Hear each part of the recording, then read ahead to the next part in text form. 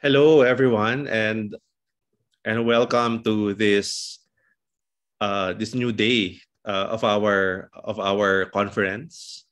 And we are very much uh, honored today to start this sessions for today with a workshop on how to write the pub for the public by someone who has been concentrating in this objective over the past uh, several years.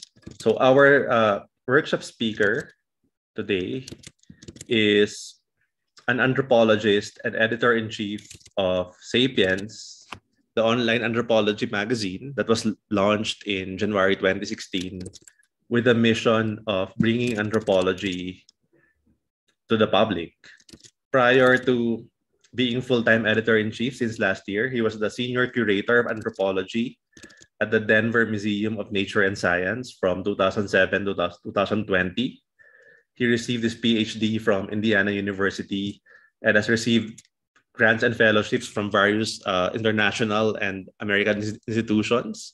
His research has been highlighted by various media outlets internationally, and his writing has appeared in the New York Times, The Guardian, and many other prestigious publications.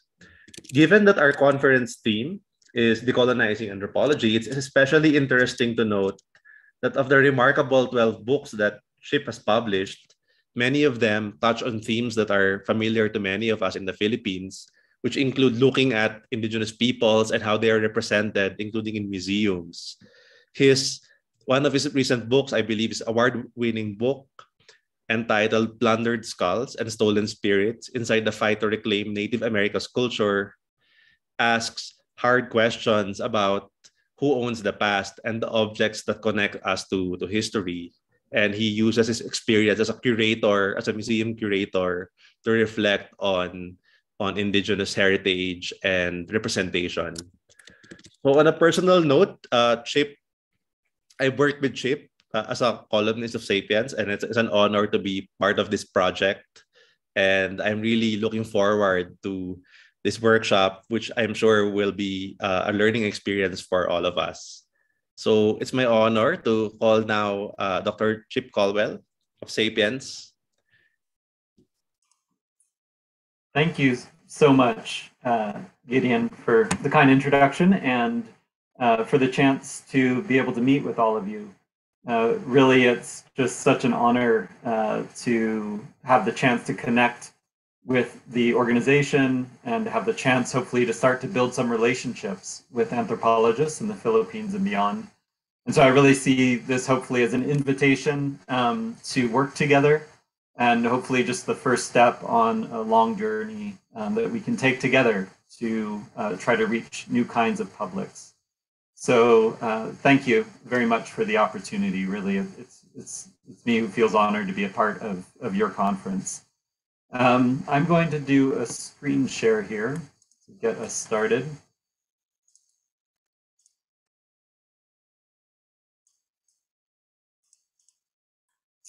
All right, and I hope we're seeing that okay. Is that coming through, Gideon? Yep, okay, great, great. Uh, and I'd very much invite you, Gideon, to please jump in. You know, I'm I'm presenting today very much from my experience here in the United States and uh, publishing and writing in, in North America and Europe. Um, and there's, of course, uh, great differences all around the world, and, and there is no one public. There's many kinds of publics. And Gideon has just done a phenomenal job of showing how anthropologists can connect with many of those publics through his writing and, and other work. So, so I definitely invite you, Gideon, to, to contribute as well as anyone else um, that is a part of this conversation. I would very much like to learn uh, as much as to share uh, a few things that I've learned. Um, so I have two hours with you, and I'm I'm hoping to uh, have this in kind of two parts. The first part is a presentation about some general principles in writing for the public. And then the second part is how to pitch magazines or newspapers, how to approach them. Um, I know everyone is incredibly busy. Um, you probably have a phone next to you, or maybe your email is up.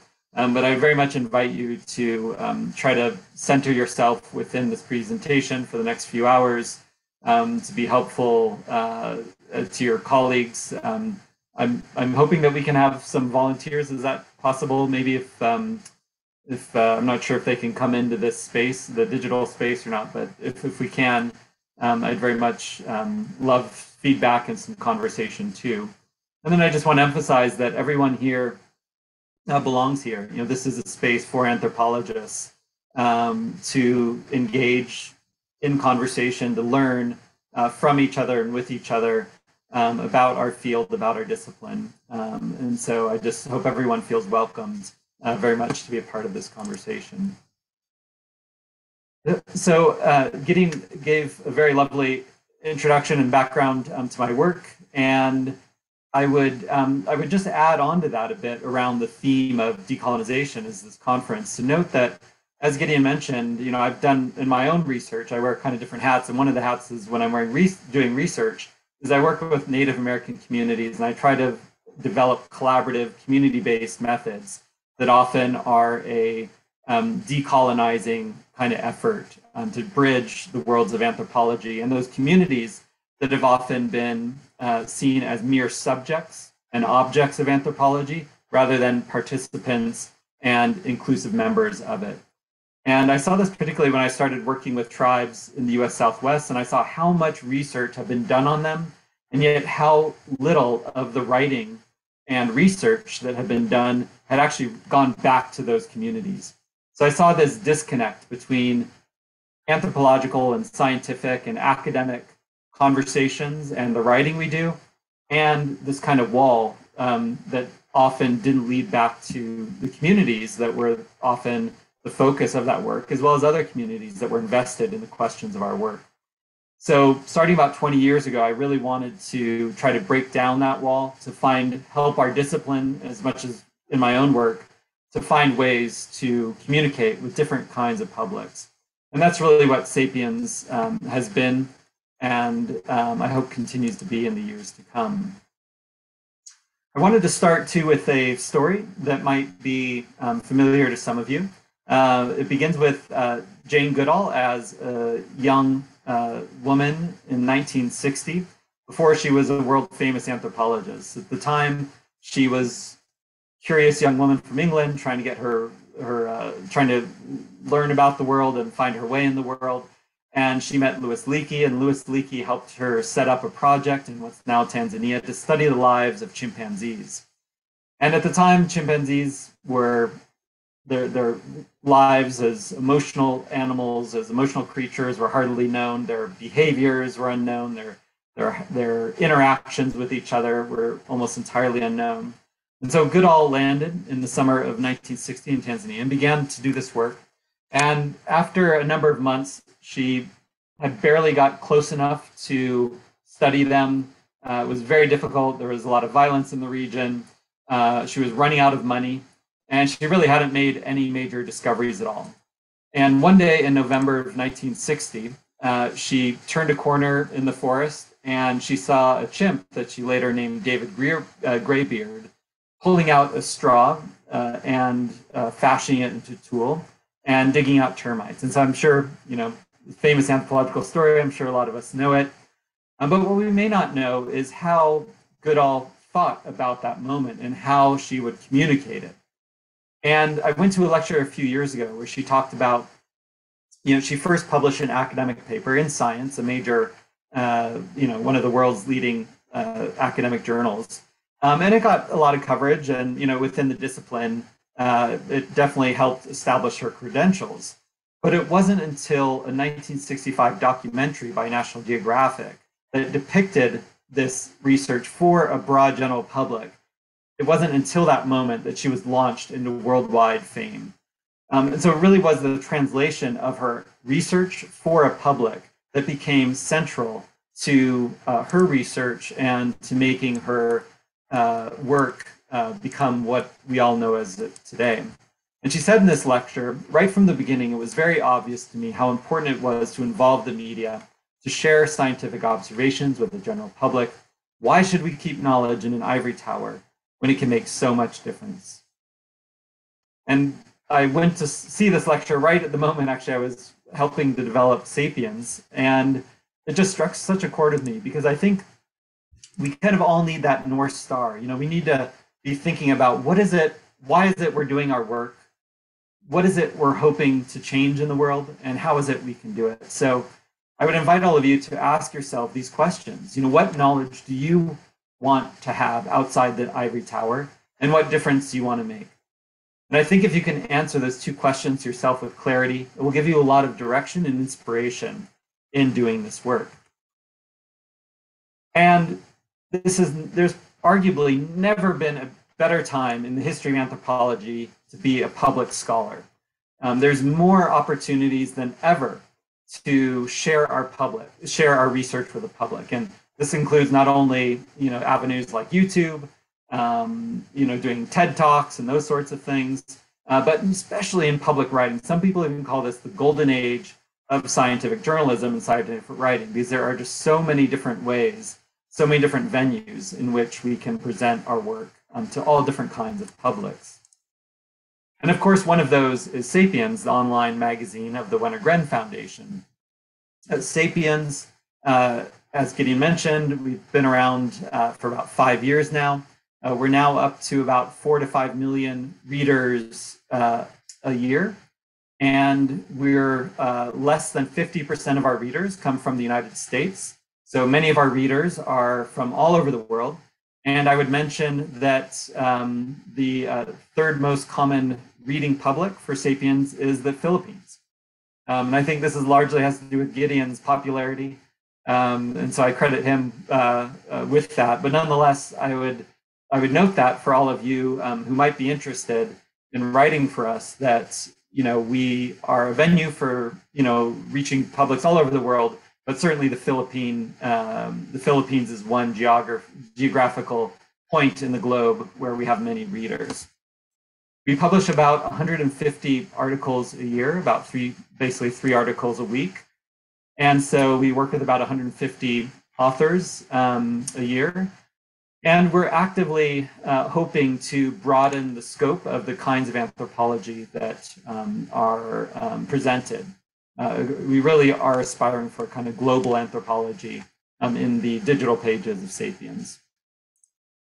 So today's workshop, as I mentioned, we're going to first go over some general principles of writing for the public. Then we're going to talk about um, the pitch, and then I'm going to mention at the end um, a uh, plans for a next class or next workshop if um, if that's of interest um, to to any of you. So I'm going to go through here a string of what I see as kind of first principles of writing for the public. And the first one and most central one in my mind is audience, audience, and audience. It's vital that we think of our reader when writing for the public. You know, when writing academically, and I'm an academic writer too, and there's great value in academic writing, but you don't often have to put yourself in the place of the reader. You can trust that if you're publishing, you know, in an academic venue, that your colleagues are going to be reading it because it's necessary for their work. Um, you know, it's necessary for them to understand your ideas, your arguments, your evidence. Um, with the public, there's no guarantee. There's so much out in the world. People are so busy um, they can stop reading whatever whatever whatever whatever it is you've written uh, anytime. So we have to put our reader first. So we have to think about who they are. You know, we have to think about their age, you know, their gender, what country they're from. Are we trying to reach policymakers or lawmakers? Are we trying to reach other editors or maybe book agents? Are we trying to reach professors and students? Maybe we're trying to reach the community that we work in. So all of these different audiences will have very different motivations, very different expectations. And so we need to write to them. It doesn't mean you exclude or, you know, you're unconcerned about, you know, multiple publics, but it's ideal to have a kind of audience member in your head, an ideal audience member in your head that you're writing to. So you're trying to picture who this person is. And then you're also asking yourself, why is it that they would read the piece that you've written?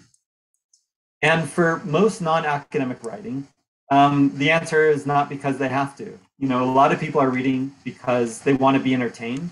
Maybe they're at a bus stop or they're lying in bed at night and they're, you know, wanting to kind of relax and think about the world. So they're looking to be entertained. Other people, you know, are very active on social media and they kind of want to be in the know. Um, so they want to be know about the latest news, the kind of coolest insights and they want to be able to um, share that uh, often on social media. Um, some people want to learn about the world. About 30% of our readers um, at Sapiens come from Google searches. So people will put in, you know, um, a, sub, a, a topic in Google, and that's how they'll come to us. So almost a third of our readers. Other people want to learn about the world, expand their horizons. Um, people are uh, using us as a resource for classes, right? So, and there's many other reasons that you can imagine. So, ideally, you're trying to form this picture in your mind of who this person is so that you are targeting them with their needs, with their vision of the world. And it doesn't mean you're pandering to them, but it does mean that you're trying to understand who they are and what motivates them.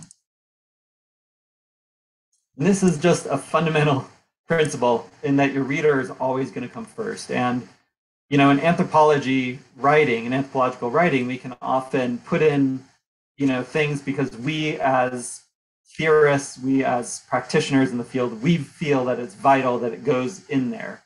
Whereas in popular writing, um, you you strip away everything except for what's going to keep your reader engaged. Okay, a second um, uh, central principle here is to avoid anthro-speak or jargon. And so this is a um, little interactive um, little interactive game that was created by my colleague uh, Jeff Martin at the American Anthropological Association. And I think it demonstrates the way in which we often within the field are coming up with language that um, serves a purpose. You know, jargon is a kind of shortcut uh, for us so we can speak to each other efficiently without having to explain big concepts. But at the same time, we often kind of get locked in this mode of trying to come up with new terms to maybe sound like we're we're we're presenting new ideas, and we can kind of get trapped in the beauty of the language itself and the abstract beauty of the language itself.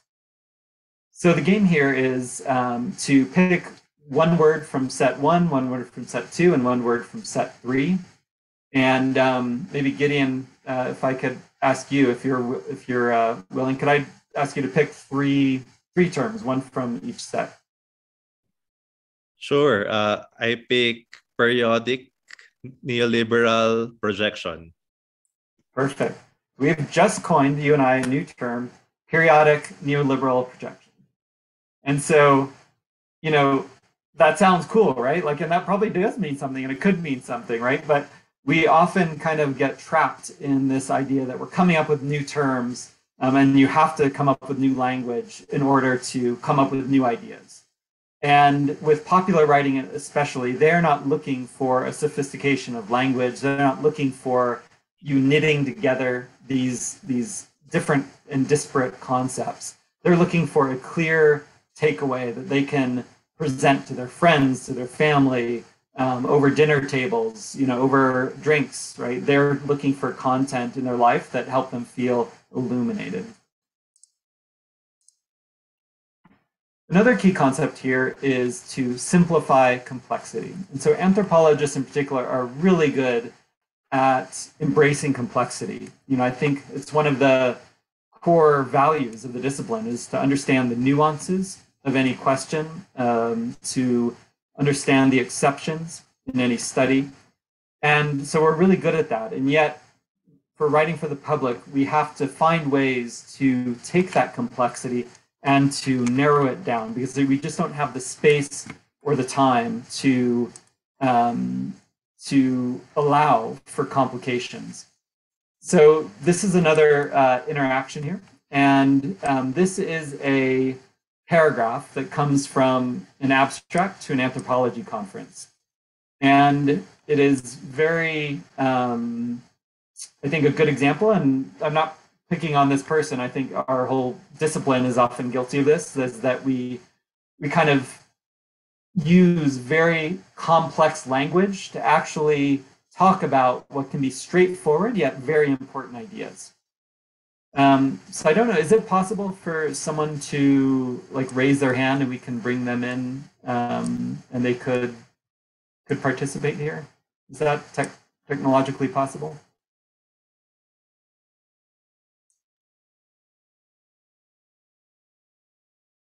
Okay, well, I actually, sorry, I just expanded my screen. So it looks like there are other people that have access here. So let's try this. So what, what the activity is, um, is I'm looking to see if someone would be willing to uh, help the whole group try to understand what this anthropologist was saying in plain English. Like, so you're trying to translate this language uh, complicated anthropological language to someone who knows no anthropology at all. Like, what is this person really saying?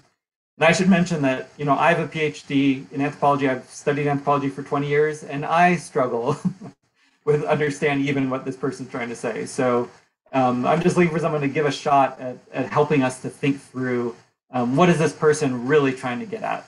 What, and because it's a really important point that they're trying to make. Are there any uh, takers? Uh, anyone willing to give that a shot?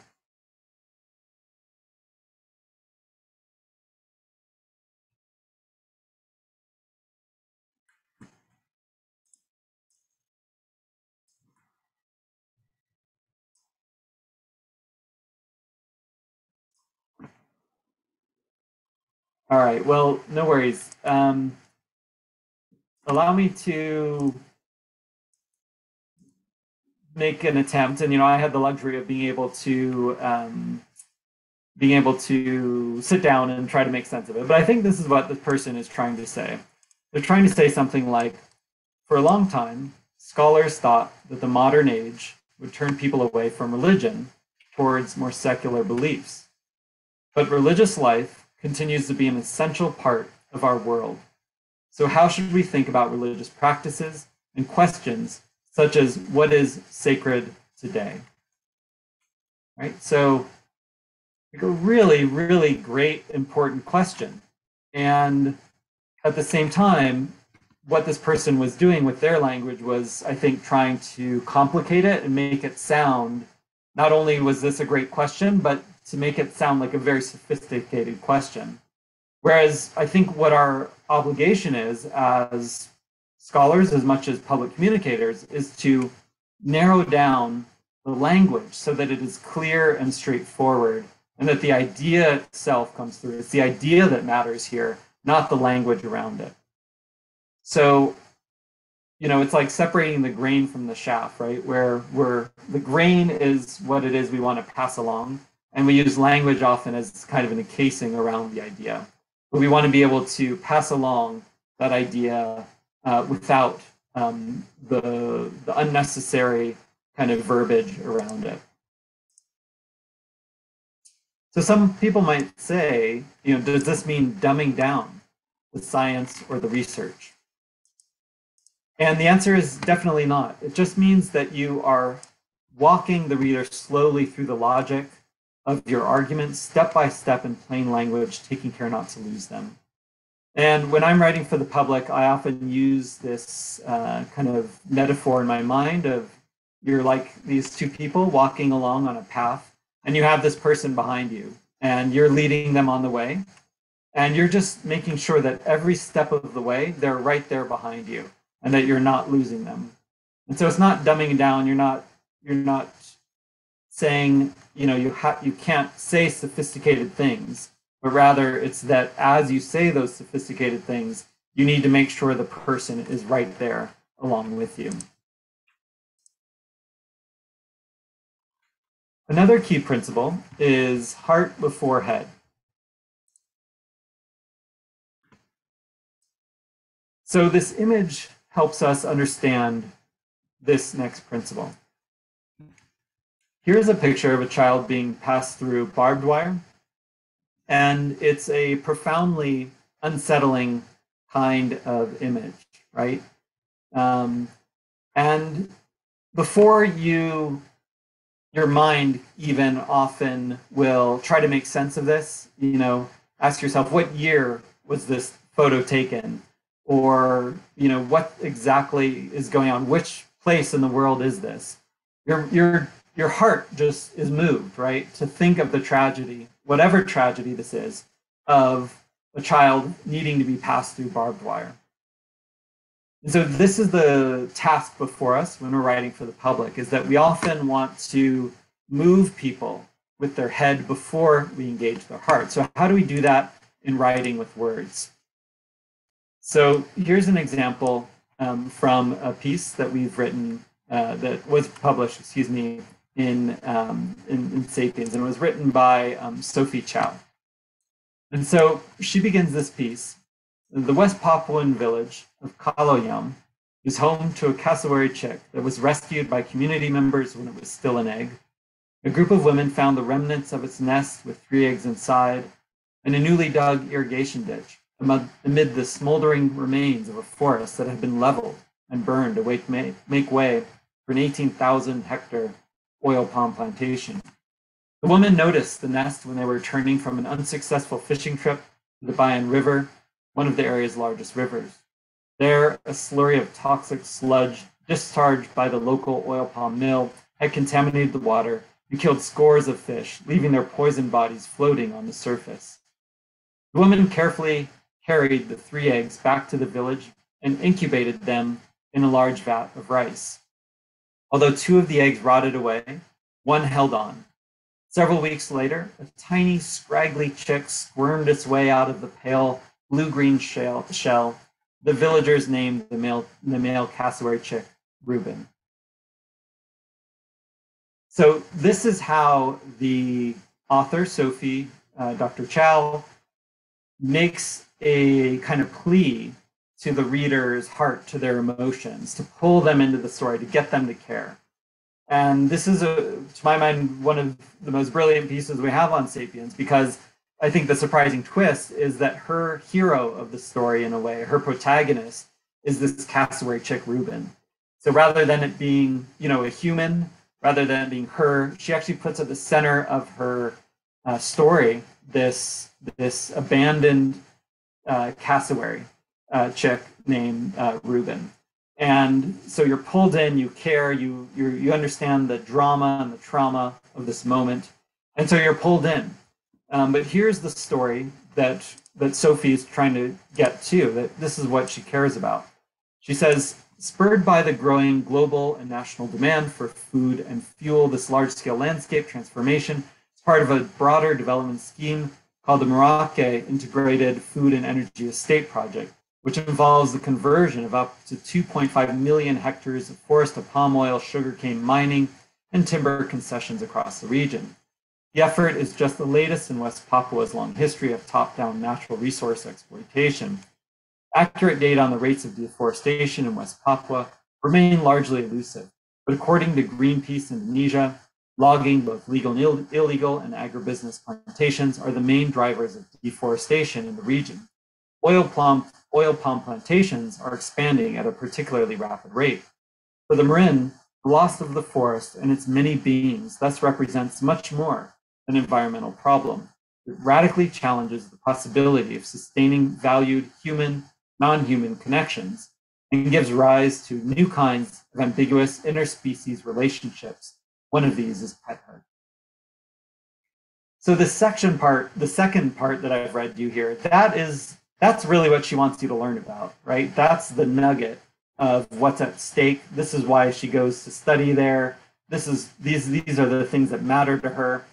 But imagine this piece starting with that second part.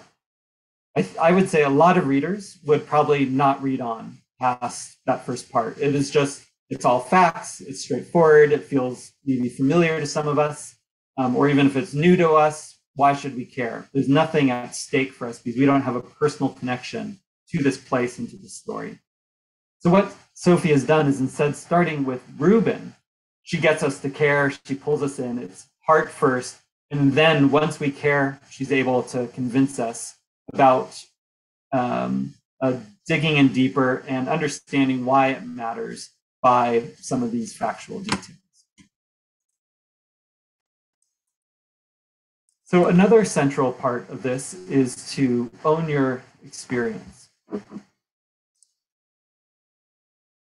And you know, this is often a difficult part of of public writing for a lot of us. Um, I think in a lot of cases we are um, trained, and probably rightly so, to have a certain kind of humility.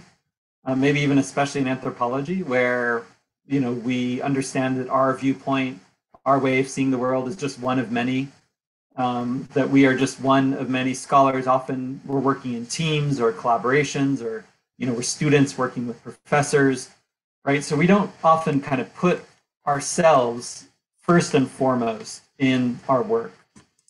Um, and yet, what is so important to recognize is that your individual voice holds power. And this is especially true in public writing, where most people, when they read, they want to understand you as the writer. They want to get into your experience, your head, your heart. They want to understand what matters to you, you know, where you've been, the road you've been on. And they want to understand, given all of that, what, what it is you have to say. So in popular writing, it is really important to embrace your own experience your own voice and recognize the power it has um, and that you can share it. It's also important to recognize your, your own accomplishments. Um, many of you, uh, you know, are in uh, graduate programs, you hold uh, faculty positions, or you um, hold other kinds of professional positions. Uh, you've published, you've received grants, um, you've uh, studied very hard to get where you are. And often you'll see um, in the kind of writing that's done in, for the public is a kind of nod to our own background uh, because the reader wants to understand why it is you have you have a space for them in whatever venue that you're publishing in. Uh, similarly, it's important to recognize your achievements um, that you've um, that you've won your experiences that you have as an anthropologist as much as a human being. And what's vital about all this is the reader is trying to grasp, and hopefully early on, what it is that you as an author have to teach them. So the example I like to give is that I'm personally am really passionate about climate change. Um, it's something I think a lot about. It occupies a lot of my, my own headspace. I care a lot about it. You know, I put uh, a lot of my ener- personal energy into it, but I have never studied climate change. Um, it's never been a topic um, for various reasons that I've been able to focus on. Uh, I've never published a paper on climate change. I've never won an award on climate change, you know, doing research on climate change, right? So why would anyone want to listen to me talk about climate change in a world, particularly of so many experts around it, right? Um, but compare that to, uh, for example, my work as a museum curator. Okay, so I've done a lot of work as a museum curator.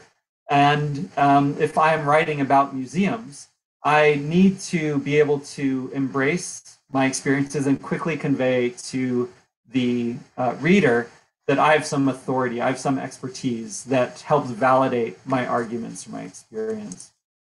Um, so I was hoping that we would, early, you know, have the chance to do some some introductions, um, and I'm going to start again with a different kind of introduction, and we'll see if anyone volunteers to do this.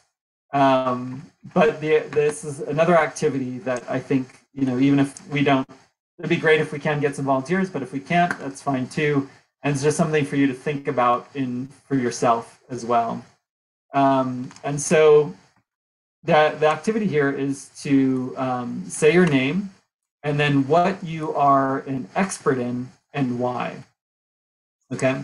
So, you know, my typical academic introduction would be something like, you know, my name is Chip Colwell, I'm the editor in chief of Sapiens, and I live and work in Denver, Colorado.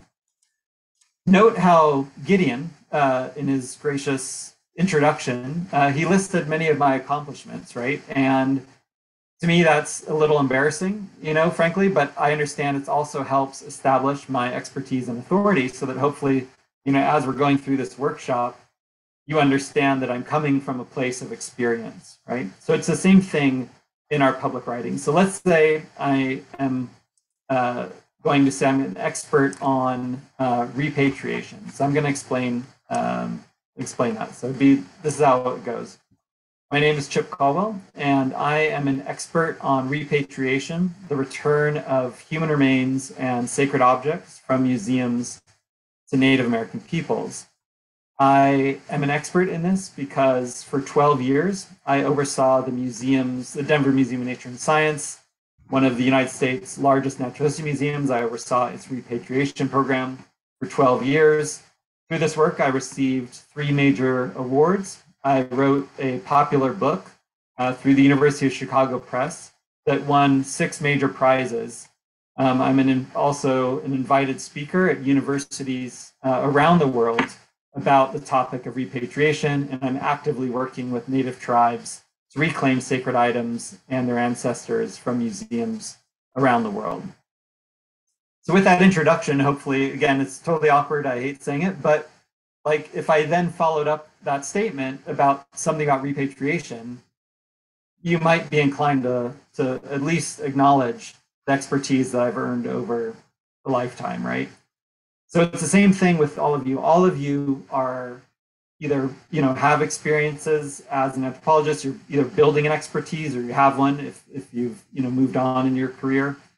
Um, and so in our popular writing, we need to be able to convey some of these, um, and it's not a laundry list of your awards or your degrees or anything like that.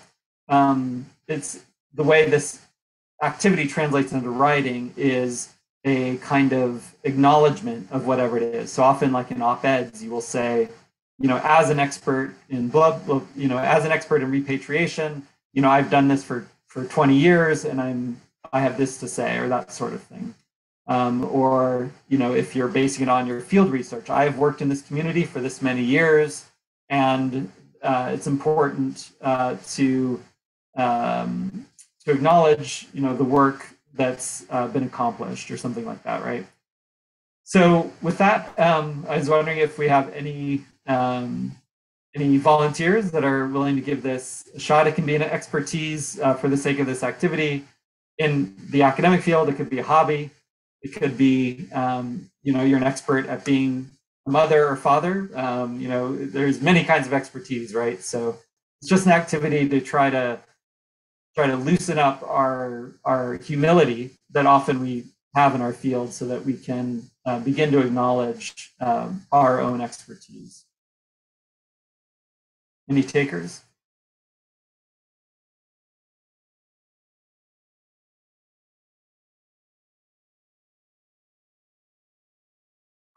Maybe not, but this is, um, so hopefully, again, you can just do this in your own mind.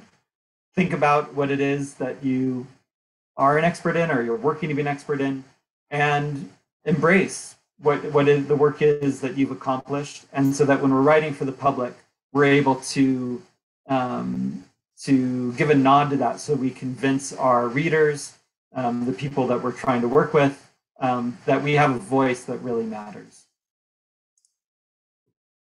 Okay. Next is um, in, in writing for the public, um, I often advise that we get to share one big idea. So in our academic writing, you know, you might, in an 8,000 word paper, you know, you might have the chance to talk about methods, might be able to talk about some theory, you might be able to have some, you know, uh, some some new research, you know, the actual evidence that you present, right? So you can have lots of ideas often packed into an 8,000 word paper. And books, of course, you have even much longer. But when we're talking about writing for the public, you really have to choose one from those many, many ideas. And the reasons include short attention spans of the public. Um, most in the public domain um, you know, again, have many choices of ways of being entertained, of ways to learn about the world.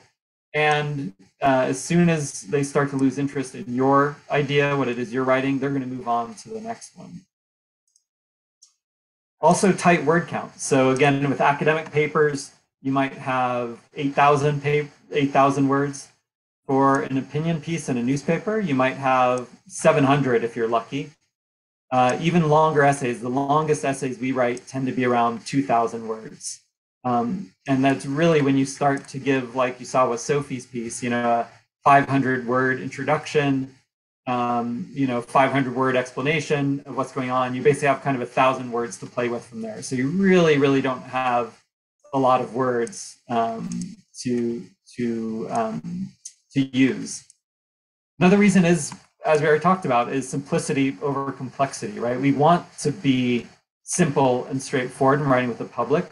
Uh, we, we're not trying to over uh, make things over complex. And so um, that's also another reason.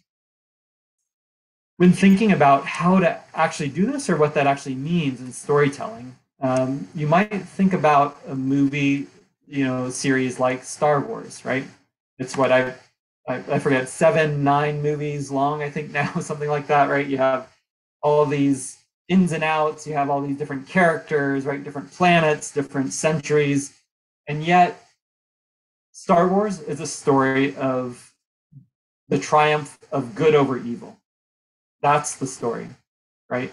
So even though you can have all these characters and ins and outs and, you know, fly across space and time, the story itself, the heart of the story, can be summarized in a very short sentence. Another example would be like The Lord of the Rings, if you're familiar with that movie, where, again, very complicated, ton of characters, ton of geographies, and yet that is about the corrupt corruption of uh, the the uh, the corrupting effects of power, right? The corrupting effects of power. That's all that movie is about. So similarly, uh, in our own writing for the public, you might think about this in a similar way. You know, you're going to have different characters, you have different places, you're telling multiple stories, but what is the one big idea? Uh, like the corrupting effects of power, good over evil, right? You should be able to come down with kind of a, a, a focused central idea, a single idea that you're going to be able to share. So this is very hard. Um, something I think is maybe even the hardest part of the entire process of writing for the public. But I think it's it's fundamentally necessary uh, because again, as I mentioned, you want someone to be able to walk away from your piece and be able to tell their neighbor, their friend, um, their family what it is they just read about. And if it's if you can't even articulate what your one central idea is, your reader probably is not going to be able to do that either.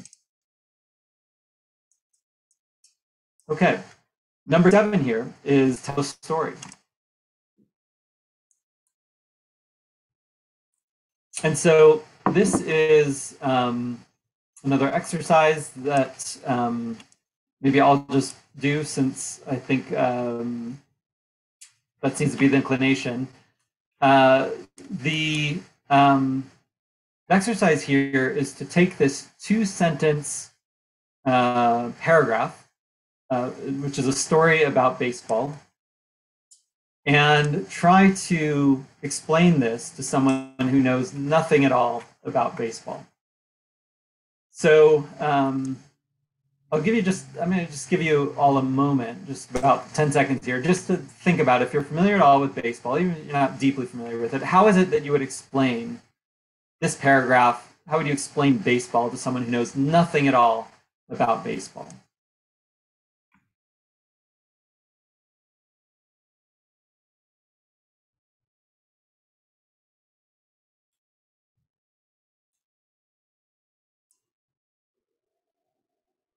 So the instinct here for most people is to try to break this down, this this paragraph down, and to try to explain it to people, sort of piece by piece, rule by rule. And so you would start out saying, so in the bottom of the ninth, so in baseball, there's nine innings, typically, unless there's a tied score. And an inning constitutes one turn of the home team and one team of the visiting team. And then they each get three outs. Well, an out happens when the hitter hits the ball and it's caught in the air or it's uh, hit within the, the, the, the field and someone catches the ball and they throw them out at first. Well, okay, there's actually four bases and you need to round each base. Um, you need to get through each base. And so you see where I'm going with this. You kind of, people's reaction is to try to break down all of the complexities piece by piece by piece.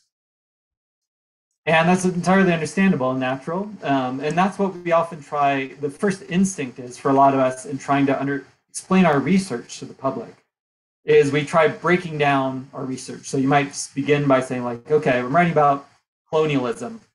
Well, colonialism is the extraction of resources from by one people taken from another people, and this is a historical phenomena that has happened for the last 500 years and previously in other kinds of contexts. Um, and you know the effects of this are detrimental for these reasons.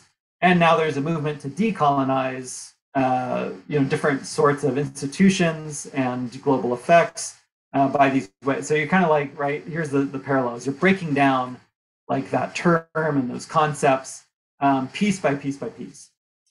So here for the baseball example is how you, I think, is you more effectively solve this.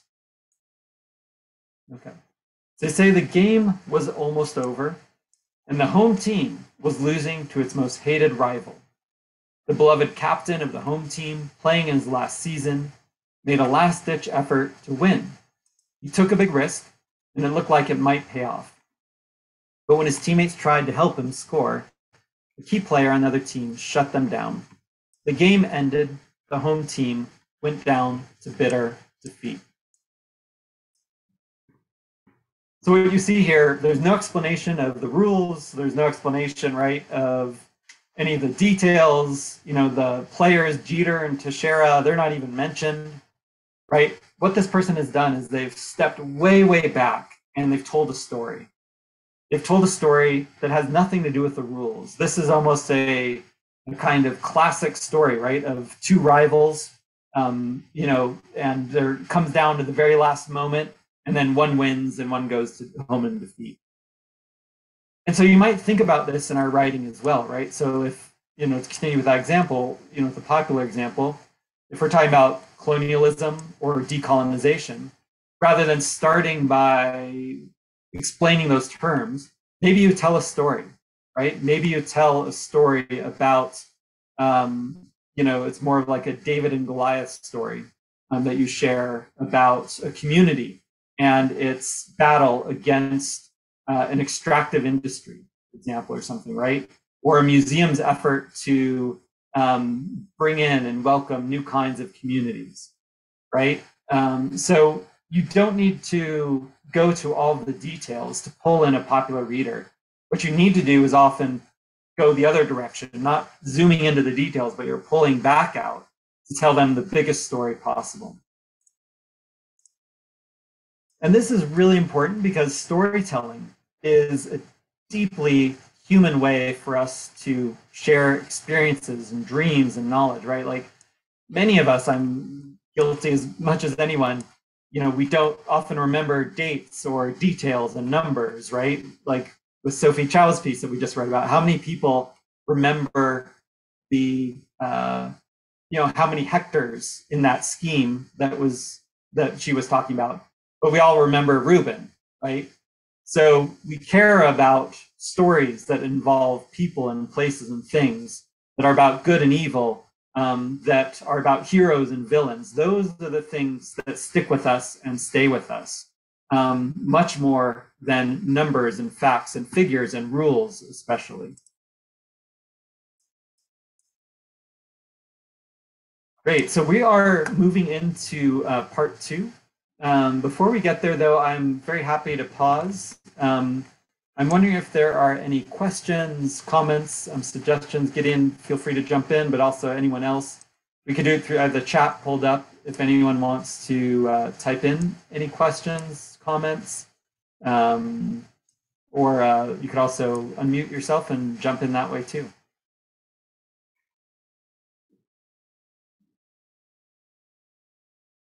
I just want to quickly say, Chip, that what you've been saying so far is actually applicable not just to to public writing but to academic writing itself. So it's, very interesting in terms of getting us to think about the, our purpose and the basics of who we are and what our work is. I really appreciate that comment, Gideon, because I've I felt that myself that you know I I was doing more kind of basically straight academic writing until 2010. And then I started doing popular writing. And I feel that it transformed my academic writing. I think my academic writing became so much better by taking so many of these principles that you know you that you have to apply to popular reading, popular writing. Um, but once you apply them to academic writing, you know, really can you zero in on key argument? You know, are you are you emphasizing clarity above all? You know, are you understanding your reader and what their values are and where they're coming from, right? Are you telling stories? Um, I, I started using anecdotes and stories so much more in my writing, academic writing after doing popular writing, because I see how it works, that you you're pulled in in a way you wouldn't be otherwise. So you might note, you know, even with this lecture, what did I start with? I started with Jane Goodall's story, right? And I did that very purposefully because I'm hoping that many of you will think about that question of the North Star, but think about it through the lens of Jane Goodall and hope that that stays with you. Much more than me just saying, come up with a North Star, right? So, absolutely, I think it affects our academic writing. It can affect our presentations, just the way we talk to each other. I think really all realms of being uh, a scholar, um, public or otherwise, um, these principles can apply.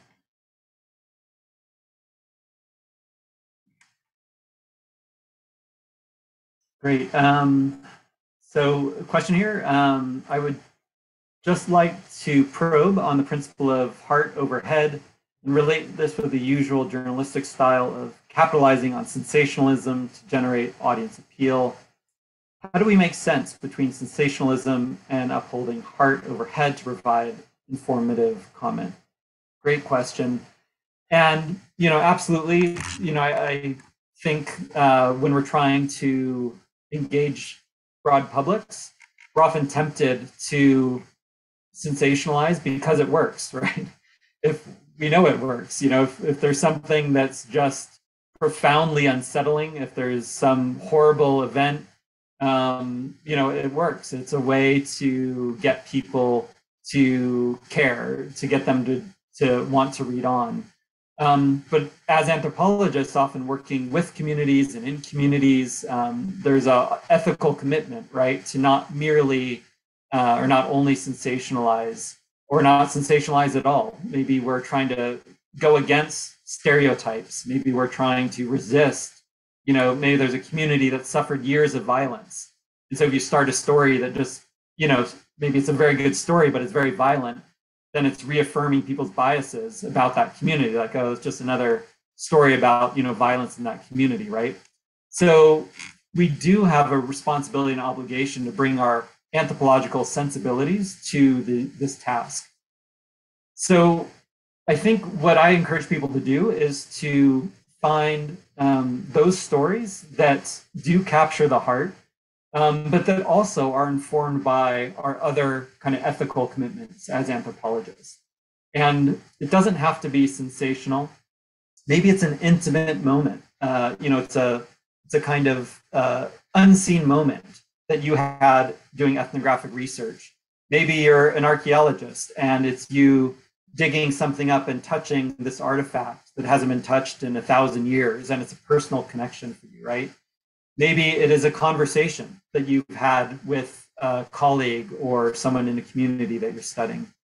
So to me, it's less about coming up with the most sensationalist, sensationalistic story, and more is it what's the most moving story? It's really about trying to get people to care. And there's all kinds of ways of telling stories.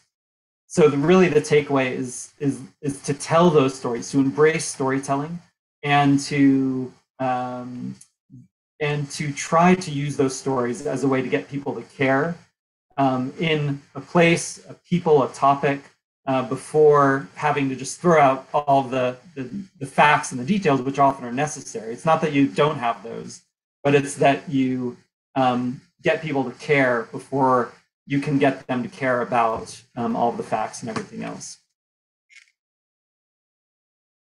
So I hope that feel free to react to that too if that doesn't quite uh, answer your question, but ho hopefully that does. Um, and I see um, Skilty, uh, looks like you have a question or comment. Hi, yeah, I just wanted to ask uh, about the um, incentivization of popular writing in the US, um, because in the Philippines, there's a pretty good structure in universities to reward um, academics who write in Scopus journals, etc. Not so much um, for those who prefer to write in in magazines and newspapers. Mm-hmm. I'm sure Gideon can answer this as well, but maybe in in your in your case in your country, how are academics uh, incentivized or rewarded for writing uh, in in popular style? Mm-hmm, mm-hmm, mm-hmm. It's a great comment because I think it's quite similar we're currently, um, the reward system is not geared towards public communication. Um, so I have a couple thoughts about this. You know, one is I believe it, at least in the United States and uh, definitely in Europe as well, um, and I would hope other parts too. It is changing.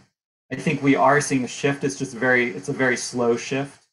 Um, I think there's a lot of pressure on universities to demonstrate their value um, to society at large. And so deans and other administrators, I think, are increasingly seeing public communication as a way to demonstrate their worth.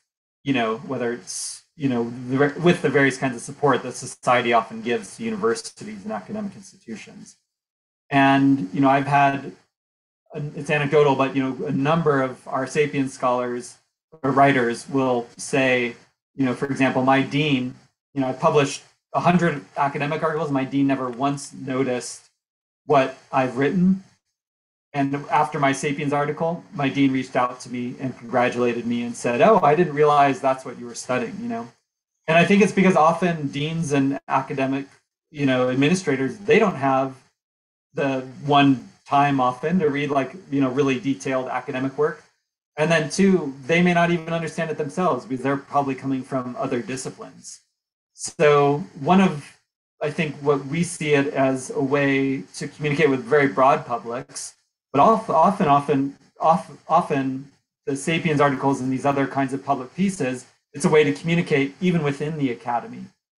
And similarly, I have a lot of anthropologists that will tell me, like, you know, they're cultural anthropologists, but they'll say they can follow Sapiens because they can actually learn what's going on in archaeology or linguistics or biological anthropology because they're not read you know most of us get pretty specialized so we're not reading across all different types of anthropology so you know i think it also serves that function i think also you know when i read up sapiens my vision of it was for it to be a magazine of the Wenner-Gren Foundation precisely because of the foundation's um, sort of uh, esteem that it's held within many parts of the of the world as a major funder of anthropology. And so, you know, I think so when people write for us, they can say, you know, not only this is Sapiens, but it's of the Wenner-Gren Foundation, which hopefully helps a little. And then finally, acknowledging that people are contributing time, uh, we we provide an honorarium um, for writers, and currently it's at 150 US dollars, and it's going to go up to 250 next year. So there's also an incentive, you know, another form of incentivizing people because we recognize, you know, that for many academics, this there is some trade-offs there and so we really want to honor their time and what they do. And i would mention that many not all but many popular venues do do offer payments. Um, and they're very modest often but still it is something um, that i think can be another incentive. Thank you. Yeah i gideon and let's see yeah please gideon i wanted to hear yeah i'd love to know your own experience gideon yeah in, in response to that question yeah, and unfortunately, especially in the Philippines, um, because also of the the challenges that are faced by outlets. For example, Philippine Daily Inquirer used to pay is to give a, a very small honorarium, uh, 1,000 pesos, I think, for commentaries. But now they said that for the past two years, they weren't able to do that anymore. So it's even less. So I, I think that it's not really a it's not really a an incentive. At least I don't see it. I don't feel it as a mm-hmm. an incentive to, to write. The financial aspect is not there. Uh, of course, it's very welcome that like for Sapiens, they give a an honorarium, and of course that's most welcome. But otherwise, it's really more for the being able to share your work rather than anything else. And even outlets like Al Jazeera and other uh, international, oftentimes they also don't uh, they also don't uh, compensate. So, but that's a very good thing to raise because there's a question here of of labor as well and and, and what we can do. What, how can we, we can incentivize people to to write more? So I'm glad, Skilty, did you also raised that. Mm-hmm. Thank you. Yeah, I think on that to pick up that one of your points there, Gideon. You know, there's also just the the joys and pleasure of seeing your ideas and your writing widely read. You know, I think, you know, for me, I definitely you just have this kind of thrill. You know, right when you your ideas kind of matter and people are talking about them and, and you feel like you're contributing to debates that are important to the world one of our other columnists, Steve Nash, he um, after about his after his millionth reader came, you know, he, he's he's written about 50 pieces, so many many pieces, but he's now had a million readers. And on his millionth reader, he basically told me I'm not going to write academic stuff anymore because his academic stuff is read by he knows, you know, uh, six maybe seven people sometimes, and he spends just as much time, more time writing, you know, his academic stuff. So he's he's almost completely converted to writing for the popular audiences because he sees so much more impact, you know, in his work. And he's in a secure position where he's he has the luxury and privilege of doing that. So it's very different from many anthropologists. But nonetheless, you know, it's just to say there's the additionally to the merits uh, that we get, you know, for writing for the public, there's also just more the personal, professional um, pleasure and experience you can bring to. Just to quickly add to that, Chip, one of the rewards is really being also from Sapiens is being translated. Sometimes I'm surprised that to see some of my essays being translated in Spanish or Portuguese. So the ability to reach different languages also. Uh, is there, and that's very. I find it very rewarding. Mm-hmm. Thank you for mentioning that. It looks like we have another question here. Um, so this question comes from Eli. Uh, one challenge in the Philippines is the limited number of popular periodicals that accommodate this style of writing, especially in local media and local publications in the regions, and even in periodicals and magazines in Manila that are mainly in English.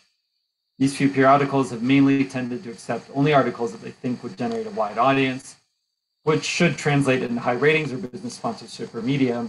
This is perhaps the fear that scholars may be required to sensationalize, which many find offend, offending or offensive. Yeah, your comment on this, please. Yes, uh, very good point. You know, I think different parts of the world obviously have different numbers of venues and the just the raw number of opportunities to be able to write for the public.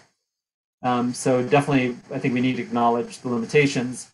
I think on the second point, um, I appreciate that insight and the way um, you can approach one one way to approach this, I think, is to use what writers will call a journalists will call a hook or news hook that will speak to the moment or that will pull people in because it's a topic of conversation very broadly because it's some news event it's some anniversary of some historic event right?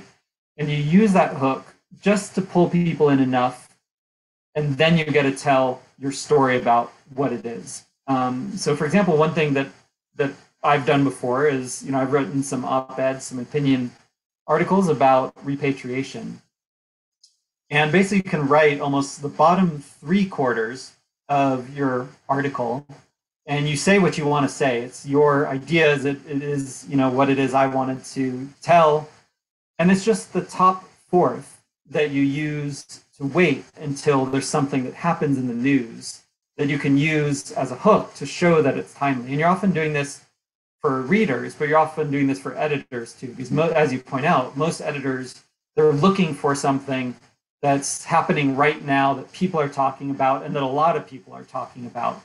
And frankly, you know, some anthropologists do study things that you know people widely will talk about, but often we're studying some corner of society or some corner of the world some corner of history. So you can wait, you know, until there's some big moment. So, for example, in the U.S., when the Black Lives Matter movement really took off, that was a moment to talk about inequities and the unequal treatment of different people in U.S. society and beyond. So I could take that current event, you know, something that was happening right then, and sort of attach it to the bottom three quarters of what it is I was going to wanted to say all along. Um, you could say that's a form of sensationalizing, but I think to me it's really more a strategy of making your research relevant to the moment and to broad publics. And I think as long as you're doing that, again, within kind of your ethical commitments to the communities that you work in, that you feel you're not, you know, lying or, you know, over dramatizing something, um, as long as you're staying true to those other commitments, I think that's a way for you to navigate um, that that way to um, say what it is you want to say based on your research, but also speak to the moment um, that that uh, many people might be talking about um, in broader society.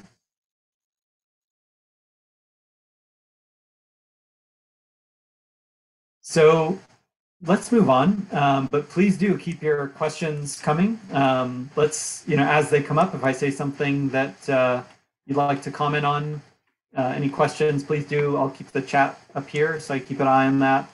Um, and then uh, Gideon, let me know if I miss any, uh, please, and uh, or raise your hand. Please do jump in. Okay, part two is the pitch. So, in many um, outlets and magazines, and again, getting you, maybe you could speak to the Philippine context. I'd be really interested. In many outlets in North America and Europe, um, you have to do something called a pitch, and basically, this is a proposal to the editors about what it is you want to write. Uh, it's kind of nice that it saves everyone time. Editors are really busy. They often don't have time to read a full essay. So for them, it's very efficient. They just get a sense of what it is you want to write, who you are, why this matters right now. And then for an anthropologist, it's great because you don't have to go write a 2,000 word essay. You just get to write a 200, 300 word pitch. And so it's a much more efficient way for you also to propose ideas for popular writing. I would note that opinion pieces, um, so essays are typically more narrative driven. They have, um, they don't necessarily have a formula. Uh, they can be about 2,000 words. Opinion pieces are arguments, and they're usually short and pithy, and it's you saying, I have something to say about the world, and I want the world to change. And so you're doing the work of trying to make arguments. And these tend to be quite formulaic, um, usually open with an anecdote or your opening argument. You give three pieces of evidence, you address a counter argument, and then you close. And you do all that in six to 800 words. Um, so opinion pieces, sometimes they do want to see the full written piece, um, and you just submit the full opinion article. Uh, but even then, with uh, for example, uh, The Guardian, they still do the pitch process even for opinion pieces. So it can vary quite a bit. But the pitch is a really important part of, um, of writing in many venues, and you need to, it's almost kind of its own skill that you need to master. Before we go on, Gideon, how was it, how, what's been your experience in, in writing in the Philippines and elsewhere? Well, in, in terms of pitching, I think that my first experience in doing this was with the conversation. So it, it was a kind of format where uh, what's what are the main points, and then was a sample. I think Sapiens also does the same, where you uh, you put your like a sample paragraph. So it's really challenging. It's actually quite challenging for me to make a pitch. And until now, I don't think I, have mastered it because it's really challenging to put put your ideas into just one paragraph and, to, to, summarize them. It's a, it's a constant struggle, but it's very rewarding as well because it's also mm-hmm. write itself. It helps you write the whole uh, piece in itself. I totally agree on all those points. And so, yeah, so yes, so the conversation is another really amazing venue. I definitely encourage you to look at it. Um, I've published there a few times and love their editors and their process. And I think on the second point, Gideon, you're exactly right. With um, again, all these things help you. you know, they it's kind of it's a, uh, it's hard work, and this is a, a new skill that is going to be very unfamiliar to many of you. It was to me. Um, but it really helps you. It, it helps you zero in on what it is you want to say and how it is you're going to say it and why it matters. And if you know the answer to all of those and you can put them in words, not only is that going to convince an editor, then you have most of your work already done for you for the writing because you know it, what it is you want to say, you know how it is you're going to say it, and you know why it matters. So to help you build, start building some skills in this craft, um, I would point you to this website. It's called the Open Notebook, where they have a lot of example pitches, and these are real pitches that were published that led to successful publications in a lot of different um, publications. Now, these are mostly journalists writing for uh, these these outlets, but the pitch is a pitch. You know, this is a skill, no matter whether you're a journalist or an anthropologist, that you can use um, as a way to uh, write for um, these these different magazines and newspapers. So at Sapiens, uh, we also use a pitch process, as Gideon mentioned. Uh, we do this as a way to make sure the anthropologists really know it is what it is they want to say. Um, and it's a way for us also to vet. The reality is we'd love to be able to publish everybody, uh, but the reality is we just don't have the editorial staff size um, to be able to do that. So I would say probably about one out of every four pitches um, is accepted um, at um, Sapiens, um, which is fairly competitive, but you know you, you have a good shot at it for sure. And it's actually much better than probably other venues. Um, some, of course, are extremely difficult, like the New York Times, which you know it's like 0.001% chance. You know they've just received hundreds and hundreds of, of pitches and uh, opinion pieces that they aren't able to publish. So um, I think the different thing about Sapiens too is that we want to publish amazing writing, but we also want to help anthropologists learn how to write amazingly. So, you know, it's part of our mission is not only to do the publication part, but it's also due to the guidance part, the mentor part, um, the help part. So, in other words, we encourage everyone to pitch, um, but we also understand this might be the first time you're ever doing this. So, if we don't accept it, we try to give some feedback if we can. Um, and then, if your pitch is accepted, often there still even is uh, work to be done um, to put in practice some of those principles that we've been talking about. So for Sapiens, um, if you're interested in pitching, you would first go through um, our website and then you go through a, a, portal called Submittable. And you need to fill out like just some of the basics, the background of who you are. And then you have your pitch, which is a 350 word limit. Um, we allow a space for any additional comments for us to consider. And then um, we have the opportunity for you to talk about your background or your perspective that might help us with our goal to bring um, historically mar- uh, historically marginalized voices forward. So the pitch, this 350 word pitch, that's really what we're going to focus on here now um, for the rest, because that's really the heart of it. That's really what matters most um, to Sapiens staff as well as most every other editor. So a really good pitch will have these three elements. Um, first, you should be able to summarize the article's key point or its argument in a sentence or two, right? So it's that it's that good versus evil or the corrupting effects of power, right? Can you zero in on what it is you want to say in just a, a short, clear way? Then you should be able to summarize the article's narrative structure in less than 300 words. So that's you should be able to give a sense of the flow of the article. You know, is there a beginning? Is there a middle? Uh, middle, and then what would be your end?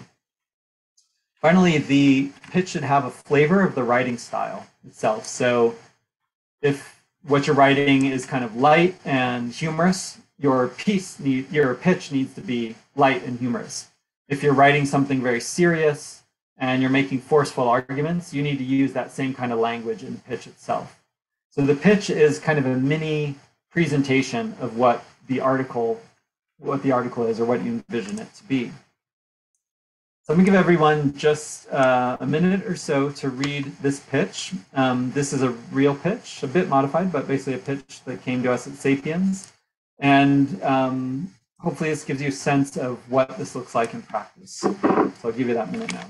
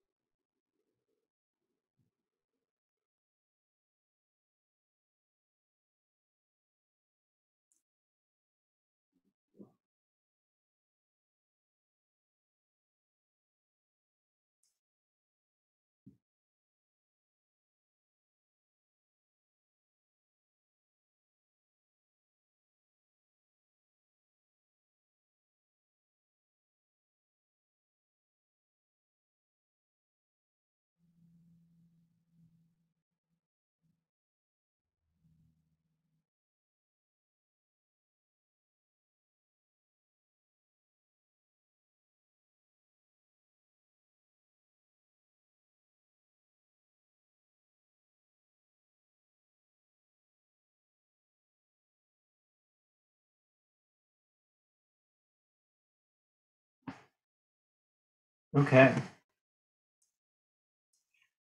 So I hope you notice, just even in this pitch, some of the principles that we've already talked about, right? Maybe, could you put it maybe in the chat if anyone, what, what do you observe? Are there any, anyone wants to volunteer a few things that some of these initial principles we've learned, what do you see here, even, even just the pitch itself? Could also raise a hand or, or speak up too, but chat's better for, for you all.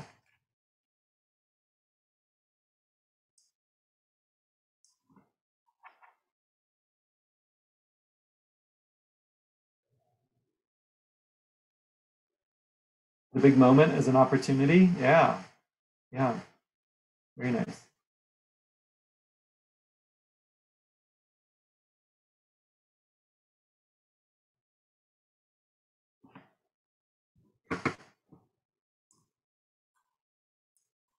The author's expertise is there, exactly, right? This is someone who's right there in the middle of it. Like this is someone who, you know, if we're looking for an expert, someone's voice and authority about archaeology at Woodstock, this is the person that we want to speak on it, right? Anything else?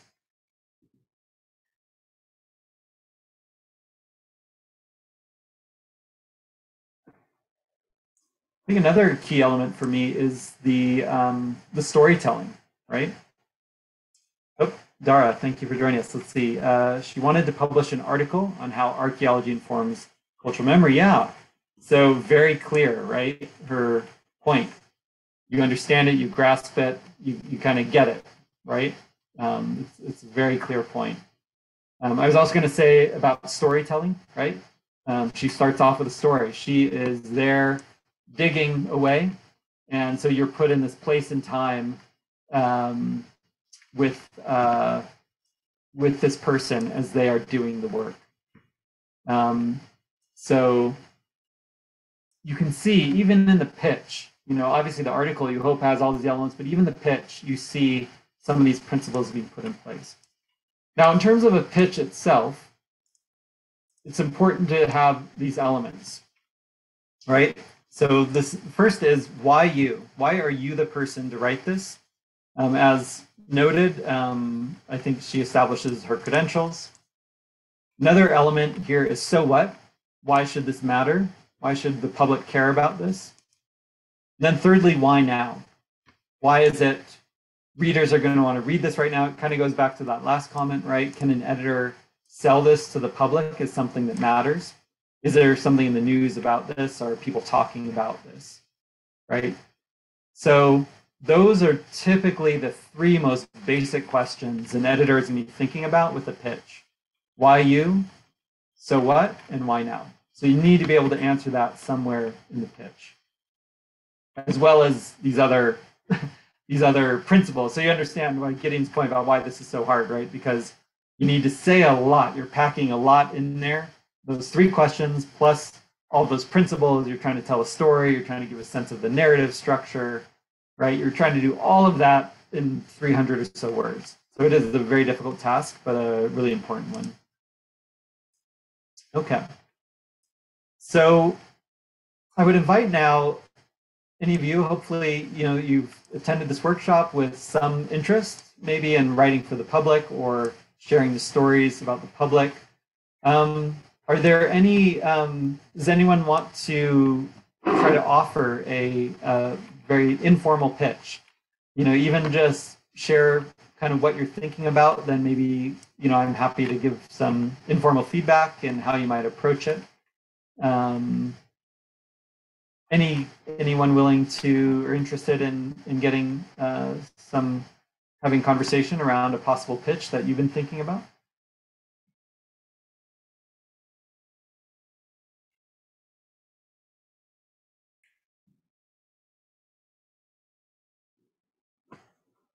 Gideon, can I ask you how how is it you come up with your ideas for articles? What what's your process?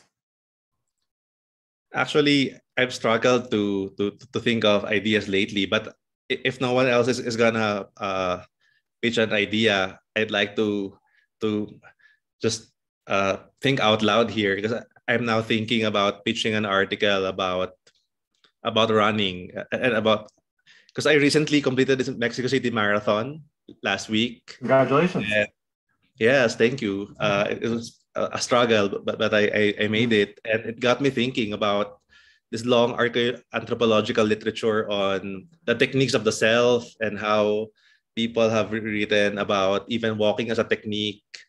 And so I was thinking that maybe I can put together something about what anthropology can teach us about running. Mm-hmm.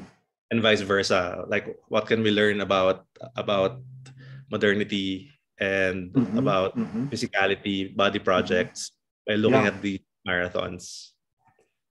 Perfect. Yeah, so obviously a rich topic. And so, you know, often the work that we do in forming a pitch is what journalists will say going from a topic to a story. You know, a topic is kind of what you summarized there, Gideon, which is, you know, what we're interested in, right? You know, running as an anthropological topic, you know, as an anthropological subject. Um, but what story is it that we could tell? So, you know, with you, Gideon, I think, you know, just to tease this apart a little bit, you just finished a marathon, right? Um, you, I imagine you said it was hard. So, you know, I can imagine a opening that is, you know, there I was, mile 23 and a half, and my legs started shaking and, you know, I'm making this up, of course, but, you know, and I was struggling and was I going to make it? And in that moment, you know, it made me, it helped me think about, you know, uh, running as a cultural phenomenon, right? And then you pull back and you talk about what is the topic or argument you want to make. And then maybe you kind of conclude with, you know, and I finished, right? And so there's this kind of nice going to be arc to it where it's like your personal story, you add a little drama to it, you can pull back, talk about the anthropology, and then you you let the editor know there can be a like a happy conclusion there at the end, right? So that would be, you know, just without knowing a lot of the details, of course, that's a way, right? We're going from here's something I'd like to write about to like how do you actually structure the pitch? So you have an anecdote, pulling back, telling your argument, and then a conclusion, something like that. Would something like that work for you? Do you think Gideon as a both a pitch as an, and an article? Yeah, and I might actually do it. Uh, I, I, am really thinking about it. So thank yeah. you for for sharing your thoughts. Absolutely. I would invite any anyone else. Anyone else want to share some things they've been thinking about? Maybe some topics or, um, you know, what what it is you might be motivated to write on.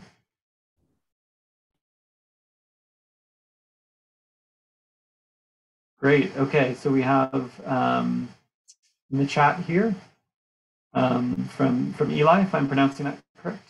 Um, some ideas come from the sounds I hear, especially sounds that I've tended to ignore. This pandemic has given me time to pause. Surprisingly, those brief moments of pause have prompted me to train my ear back to the many sounds around me that, for me, before the pandemic, were merely noise. Now I'm trying to separate one sound from another rearrange them in my thoughts, reassemble them with the images I see around me, and I derive new insights. What is the sound of this pandemic, at least from someone having this luxury of a pause? Really, really thoughtful um, idea there. And um, I can appreciate uh, sort of the anthropology of the senses, I think is sort of driving um, this, this idea. And um, so I think again, it's the the the challenge of a pitch is taking the idea here and making it more specific. So I think you know, is there a particular sound, you know, in your experience over the last year and a half that maybe you've you ignored before, but now you're hearing it every day? Or was there a moment where you suddenly had this revelation and so, can you turn that into a story, right? Um, and not a big one, but just a moment, an anecdote to pull us in, to really give us a sense of that, of your internal experience. I then think um, with, with this sort of topic, pulling the pulling back part, you probably need to elaborate a little more and think about, you know, some anthropological theory or some idea, a concept that would really give some meat to this, you know, because I, I really appreciate what you're saying here as a personal experience. But I think we'd also want to hear from you as an anthropologist, you know, what is this, what is there to learn from this? Um, is it, you know, I'm making this up, but maybe it's like, um, you know, being aware of this sense has helped you understand how we often are closed off from other cultures because we have our own lenses and we're interpreting you know the world through those lenses. But when you open up those lenses you suddenly can experience other cultures in a different way right? Or maybe there's a very specific concept in the anthropology of the senses that you, you know one big idea that you would bring forward to share just to explain what that idea is to the to the general public right?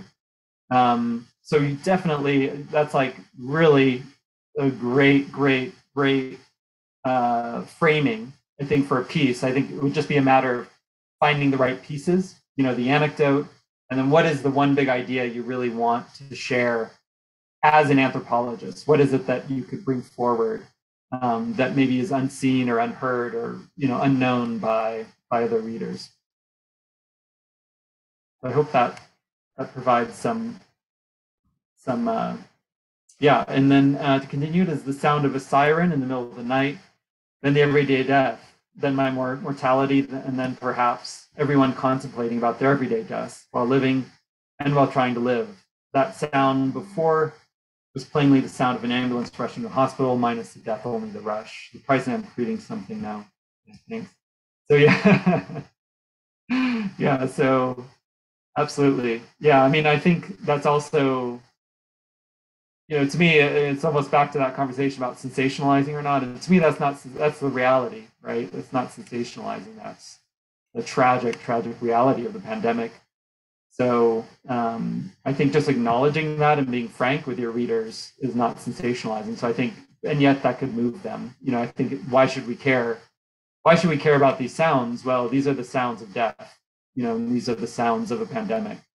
So I think a lot is at stake there. So I think drawing that out and really letting your editor and reader know this isn't just noise. This is this is our world experienced through noise. Um, I think would be really important. Thank you for offering that idea and some of those thoughts. Do you have anyone else like to step forward?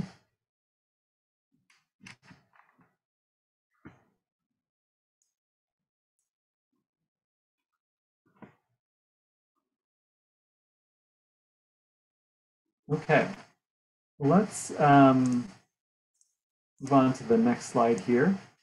So really practically then, oh, and by the way, I should have mentioned, um, I'm very happy to share this PowerPoint slide with the organizers. So for anyone who'd like these as notes later on, I'm happy to do that. Um, so the sort of step-by-step -step process here is to begin by mapping out your article idea. It's kind of like what we just did, right? You have a topic, you have something, a dream of, you know, some idea, some concept that you want to share with publics or, or different kinds of readers.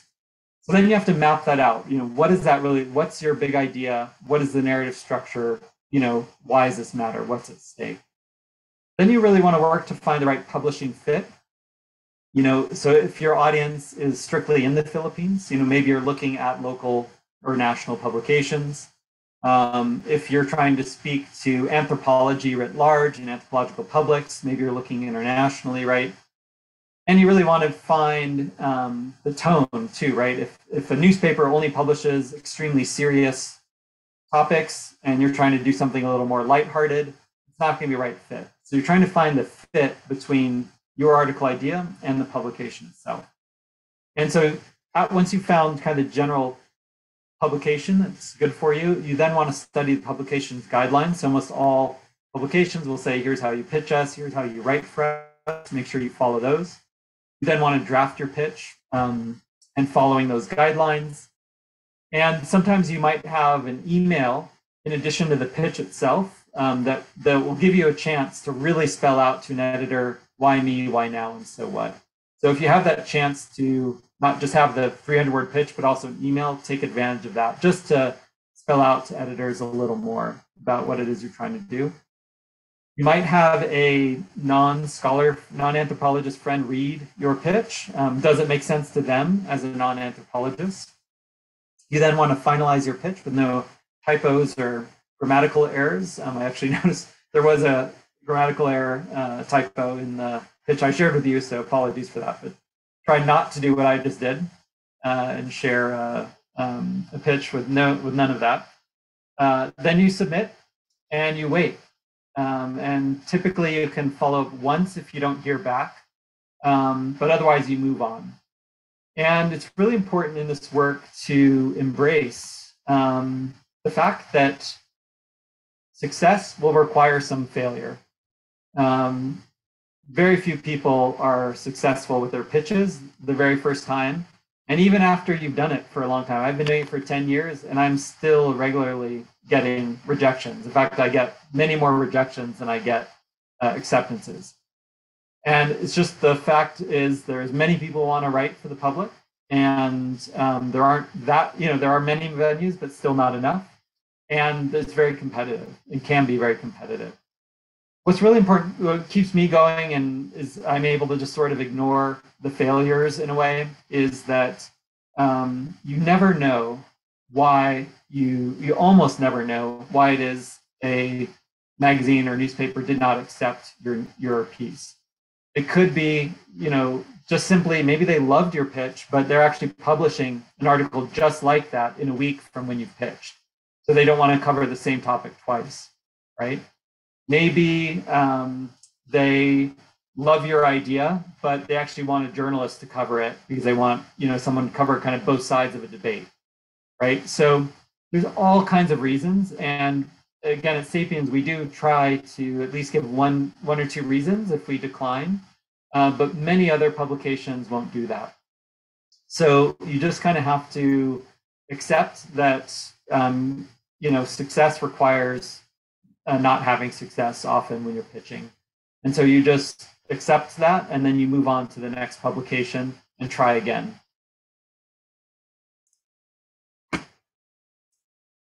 So with that, I'm very happy to take some more questions. I see there is one more um, in the uh, chat, which I'll get to in a second.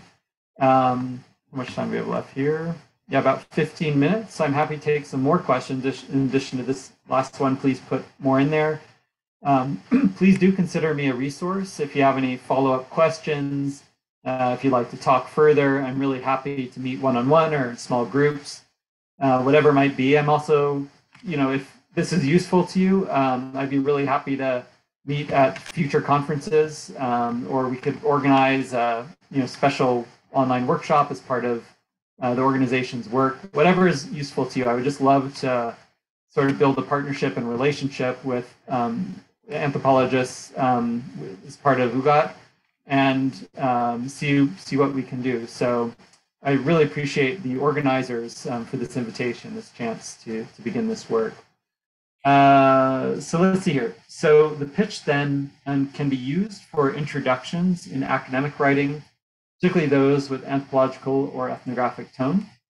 I, I think so. You know, there's often um, quite a bit of overlap in your academic writing uh, as much as uh, your popular writing. There's different ways of thinking about this. One way is if you are publishing an academic piece, you might consider publishing that first because in an academic article, you'll have all of your evidence laid out, you'll have all of your ideas, you know, really well formed. And I personally find it's easier to translate kind of all of that, especially after it's been through peer review. If you go through peer review, right, you know it's been vetted by your colleagues. You have every all the parts are there. So then it's just a matter of reassembling those parts for a popular audience so that they understand uh, you know your core idea, your evidence, and so on. But you're just translating the academic idea to a popular idea. Uh, but it's certainly possible to go the other way. Um, you know, for maybe you have a very timely idea, maybe your research is pointing to something that's like happening right now in the news, and so you really want to jump on it and write a popular piece, um, that's great. Go for it. And then maybe the anecdotes and your core idea that come out of your popular article can inform your academic writing. Um, so in short, yes, you know, I see this kind of flow between your academic writing and your popular writing. And you just might think about for yourself and your particular context you're working in, which makes more sense uh, to do the academic writing first and then popular, or popular and then academic.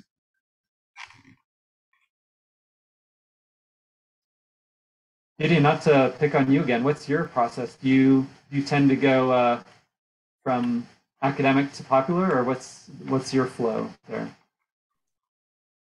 I think it can be uh, it can go the other way around as well. But of course, mo- I'm most comfortable with topics that I've already written about academically.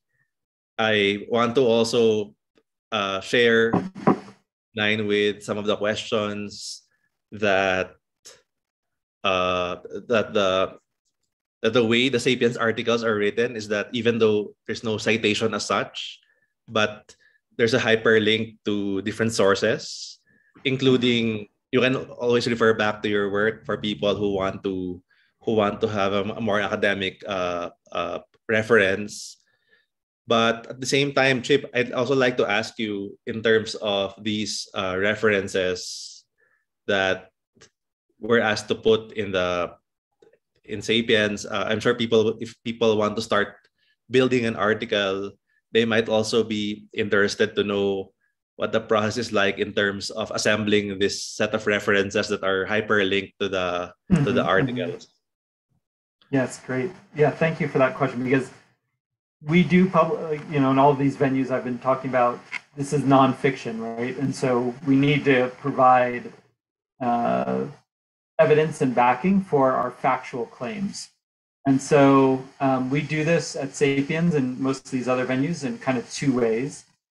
One is we include hyperlinks that will link to academic articles, you know, maybe other popular articles, uh, encyclopedia entries, whatever it is that's sort of backing up our factual claims, um, and that are necessary for the reading experience. So a claim that a reader would be likely to ask, oh, where you know where did they get that number from, or could I learn more about this? That's usually the function of those links, you know, within the article itself. But additionally, during our copy edit process, so when our editor is checking for typos and grammatical errors, that sort of thing, we also do a, a basically a fact check um, for the different factual claims. And for those, we ask our authors to give us, sometimes it'll just be footnotes in a Word document. So then we can just check to make sure, you know, we're not publishing anything that's factually incorrect. Uh, those footnotes, though, are not included in the published article. It's really just a way for us internally to make sure that we can be confident in what we're putting out is factual to the best of our knowledge. Um, so we have a really, really amazing copy editor um, who does that fact checking for us as well. And um, the, when the author is presenting those footnotes with links or uh, citations, then it just eases the process. And so then we don't have to go searching for the facts ourselves. We know what it is that you're citing. Um, so sort of that two step process. Thanks for raising that. And actually, the, the right the editor, writer editors really make it much easier. Uh, I feel more comfortable that I'm not being judged or being rejected, but it's more of a, a learning process. Working with these editors really make things uh, easier and takes away the intimidation that that normally goes with, with the process. I've worked with a, a couple, at least a couple of editors with Sapiens, and I really enjoy working with them. That's great to hear, Gideon. Yeah, I do hope that most of our, all of our writers feel that we're on your side you know, we are your collaborators and teammates, and we are working to help you succeed as a writer. So I think some people maybe have this concept of it's like, you know, kind of a struggle or a battle, right? Whereas like we, our Sapiens team are the experts in crafting popular articles that will be read by millions of people. And you're the expert in your area. And when you put those together, you come up with really magnificent articles. So it's a collaboration that we try to communicate, you know, and that we want our writers to know that we're on your side, that we're working together. Let's see here. So we have uh, another question from Eileen. Uh, thank you for being accommodating with our questions. I hope one more is okay. Absolutely. Um, for many anthropologists, as mentioned, our worth value contribution is generally measured in more academic scholarly venues. How do we locate writing for the public as part of our career as professionals? how do we divide our energies in developing the skill versus developing skills that would make us more acceptable to the scientific community? How do we strategically use these different writing skills set to flourish as budding anthropologists? So, yeah, fantastic question.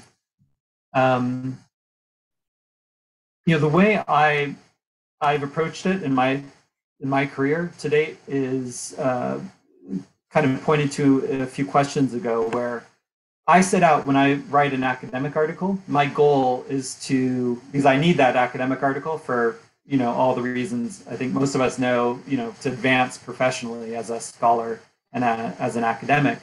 But I set out to have at least one popular uh, public um, uh, outcome from that work as well. And I find it's actually not that much more work because, as I was saying, once I have my article, my academic article done, I know what the anecdotes are. You know, I know what my arguments are. I know what the evidence is. It's really just fine tuning and reshaping that academic article to a popular one. So time wise, it's not a huge investment to just go that one more step and take that academic work to translate to a popular piece. Um, so that's for me. I I do occasionally. I get inspired and I'll write just a standalone popular piece, or you know, do you know some other popular thing for a popular audience. But it's really that taking the research that you've done. You know, you're going to write the academic stuff, so just go one step further and do a popular one. Um, you know, I think um, it's also you helpful. You know, if you take your popular work and you use it uh, as a way to share your work with publics that otherwise might not be aware of what it is you're doing. So, you know, for me, that includes sharing back with the communities where I've done research.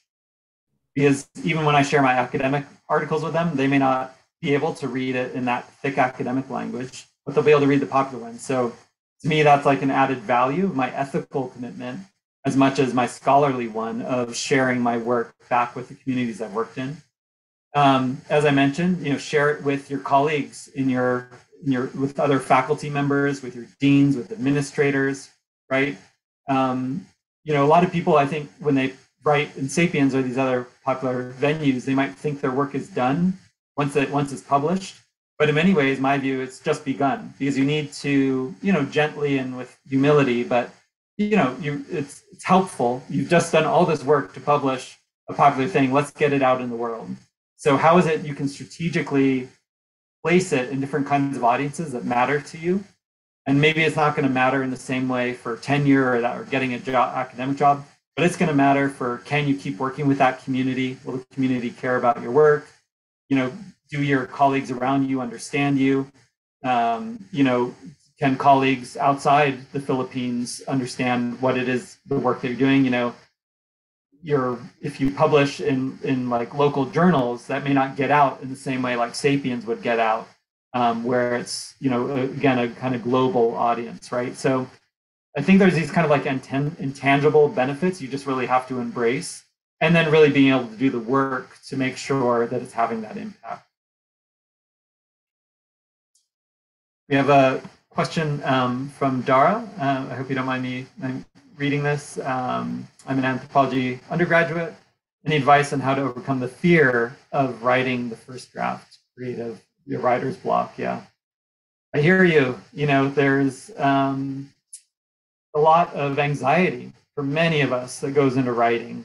You know, it is um, scary for lots of reasons. You know, um, it is, it's, uh, you know, fear of failure, you know, fear of rejection, fear of saying the wrong thing, right? There's a lot of fears, you know, that I think can underpin writing. And I've been there. I think anyone who's written, you know, can sympathize and understands. And we all go through that. Even the most famously, right? Even the most like, you know, Nobel Prize winning writers have writer's block, right?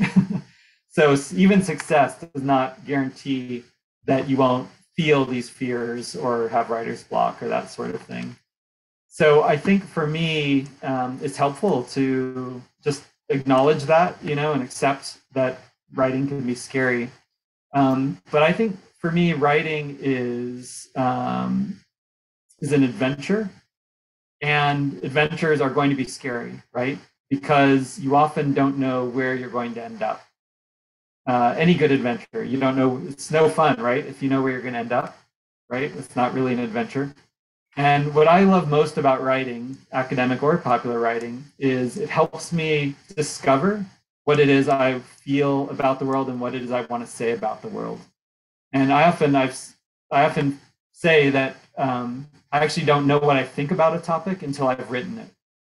And so for me, writing is that process. It's almost like a process of self-discovery, as much it is of anything, of trying to just for myself. I almost begin with myself of what it is I want to say. I learn. I learn about myself through the process of writing.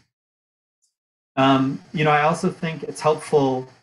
Just some like more practical things. You know, is just um, a mantra that I have when I'm writing is that um, is words don't write themselves you know so until you put that word on the page it's not going to be written. It's just not going to happen right? So for me that's it's just mo- that's my personal like motivation to just write. And sometimes i find that um, i'll just start writing and my first paragraph is terrible. My second paragraph is worse. My third paragraph is the worst yet. And then my fourth paragraph is like brilliant. Or i think it is anyways. You know and so it's like it's that process of just writing sometimes. You just have to get words on the page and start forming your ideas seeing what works what doesn't work and not be harsh on yourself. You got to kind of let go of some of that judgment and just write just just get it going. Um, and a lot of people find it useful to do that in a regular way um, to you know every day set aside you know three times a week whatever it might be whatever your schedule allows set aside a half hour set aside an hour, whatever it is, and just write. And um, if you're struggling with an academic paper, you know, a term paper, whatever it might be, um, maybe you write for that half hour about something you feel really com- just write about what your day was, write about um, an experience you once had. Tell yourself a story, right? Just sort of get in that mode, and then you, I think that kind of opens up doors um, in a way that that feel blocked. You know, if you're just like, I need to write perfectly, I need to write on this topic, I have this deadline, whatever it might be. So hopefully those are a few thoughts that uh, help you open those doors uh, to new kinds of, of writing and different possibilities. All right. Um,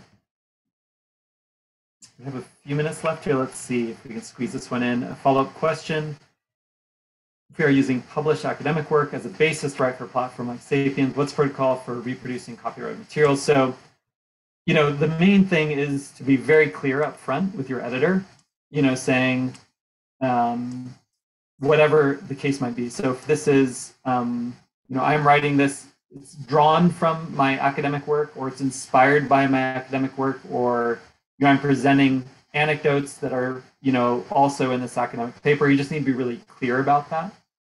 Um, what we find is almost always this is like a worry at, at the start.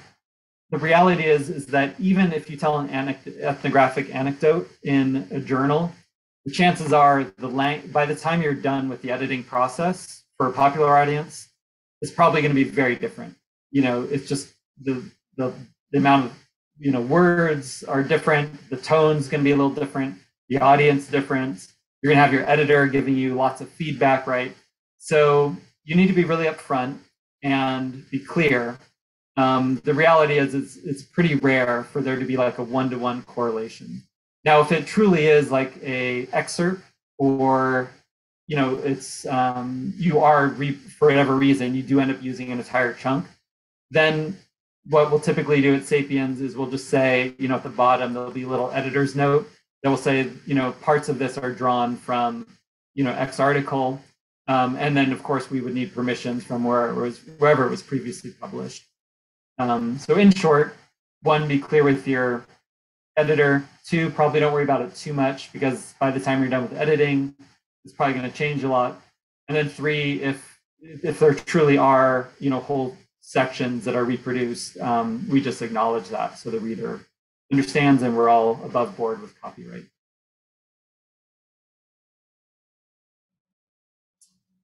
Let's see here. So um, I think our time is up. Um, I'll look to Gideon or any of the other organizers if we need to end exactly on time or there's one last question I see. Yeah, I think we can accommodate this uh, one last question just so that okay. yeah, complete. Great. Yeah. So we can end by answering everything if we can at this point. Uh, so a question here is if we attempt to write in Sapiens, would we endure months of waiting for a feedback or decision to come out? typically, uh, yeah, of peer review. Yeah, just to add more to our anxieties. that is so true. That waiting can be the hardest part, right?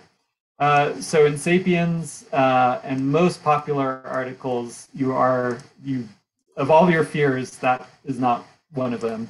Typically, you'll hear back within uh, a week, sometimes maybe two weeks. Um, that's usually the most, and sometimes you'll hear back within 24 hours or 48 hours.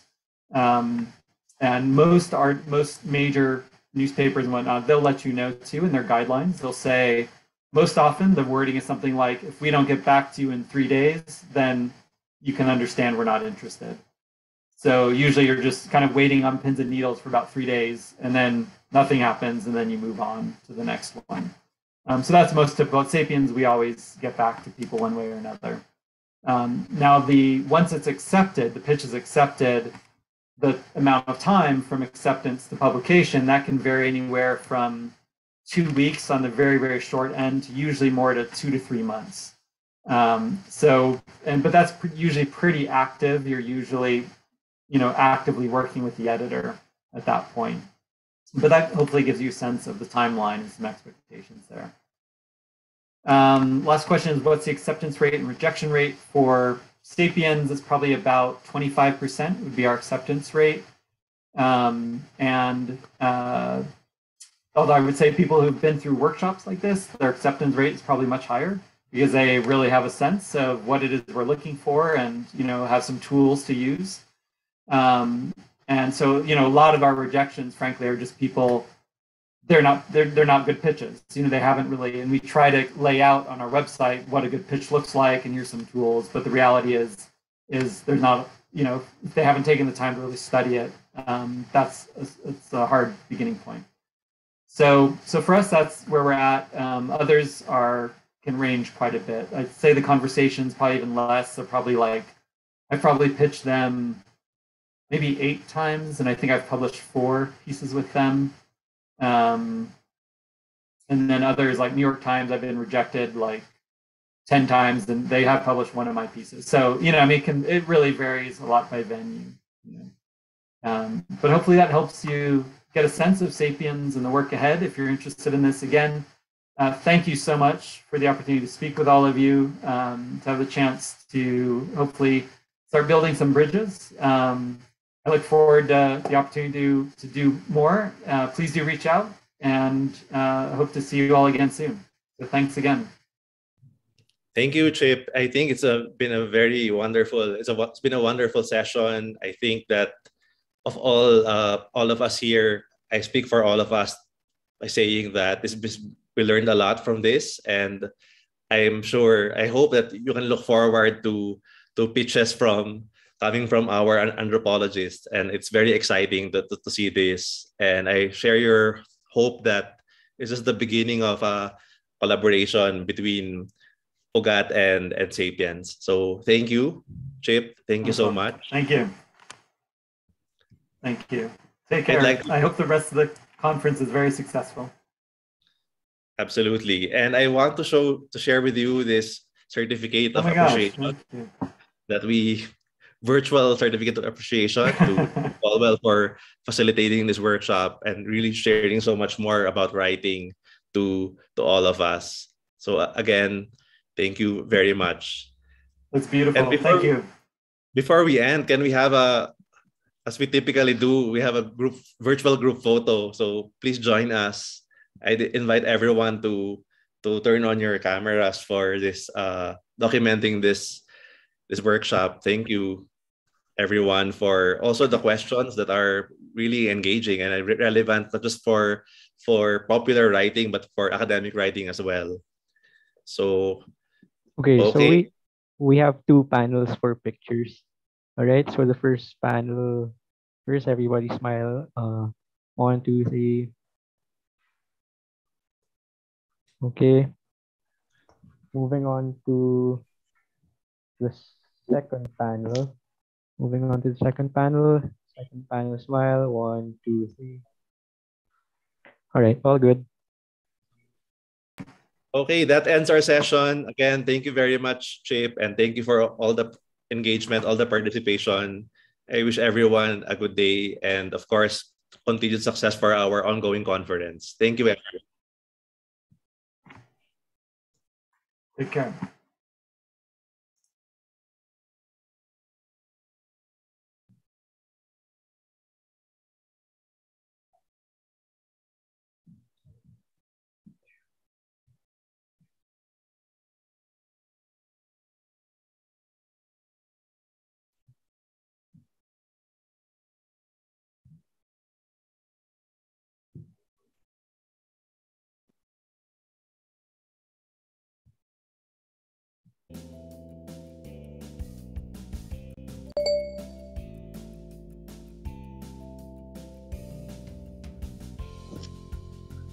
Ma'am Suyen. You want, let's start na po.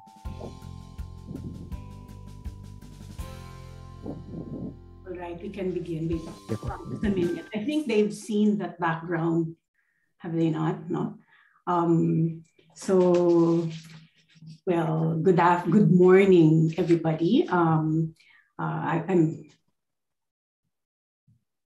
Thank you for um, staying with us in this uh, UGAT conference. No? Um, I would like to just read out no? uh, some of our panel presenters. I see um, Dr. Sanen Marshall, Dr. Uh, is Dr. Veronica Atin um, around? Yeah, I'm here. Okay, so thank you very much. No, uh, both of them uh, come from, um, will be presenting a paper. I mean, they're from University Malaysia, Sabah in Kota Kinabalu in Sabah, Malaysia. And uh, we have Dr.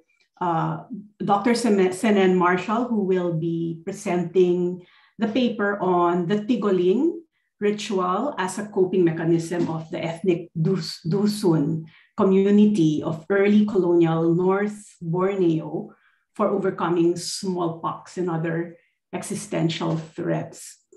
Uh, after, uh, okay, so uh, shall we, shall, shall I do all the introductions all at once or uh, we'll do it one by one? One by one for fine, and then I'll play the video. All right. Okay. So uh, thank you for being here and uh, go ahead, Ido.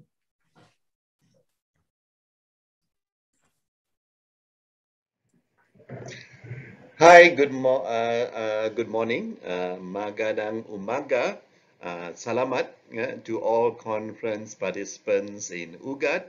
Um, my name is Sanen Marshall, and uh, I'm going to present on the uh, ethnic Dusun device called Tingolig, uh, which was used in uh, the late 19th century in North Borneo uh, to prevent smallpox yeah, as a traditional uh, device or ritual to prevent smallpox.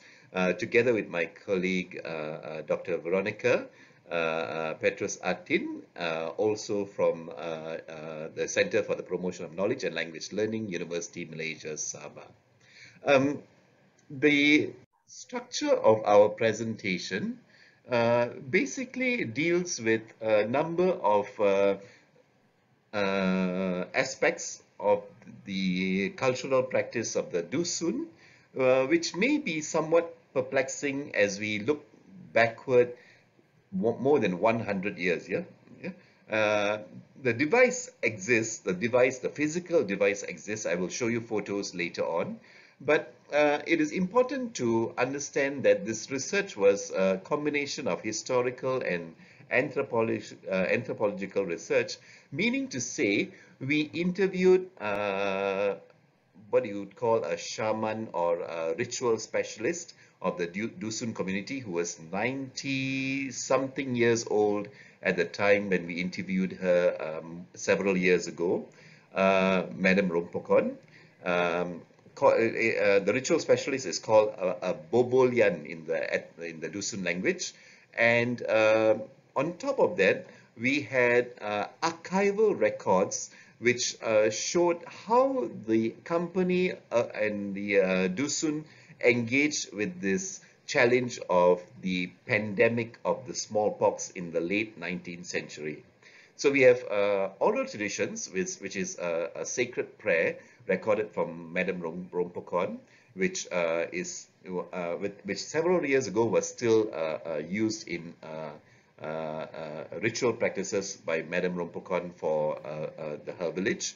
We have archival records from the British North Borneo Company, and we also have visual data, visual uh, uh, photographs of the device, the actual device of the Tingling, which resembles, which we, which we can be quite sure based on the descriptions of uh, the British North Borneo Company and later travelers to Sabah, not too much later, uh, people who visited Sabah or who did uh, research in Sabah in 1906 and 19 uh, the 1920s, uh, who also recorded very similar observations of the Tingolik.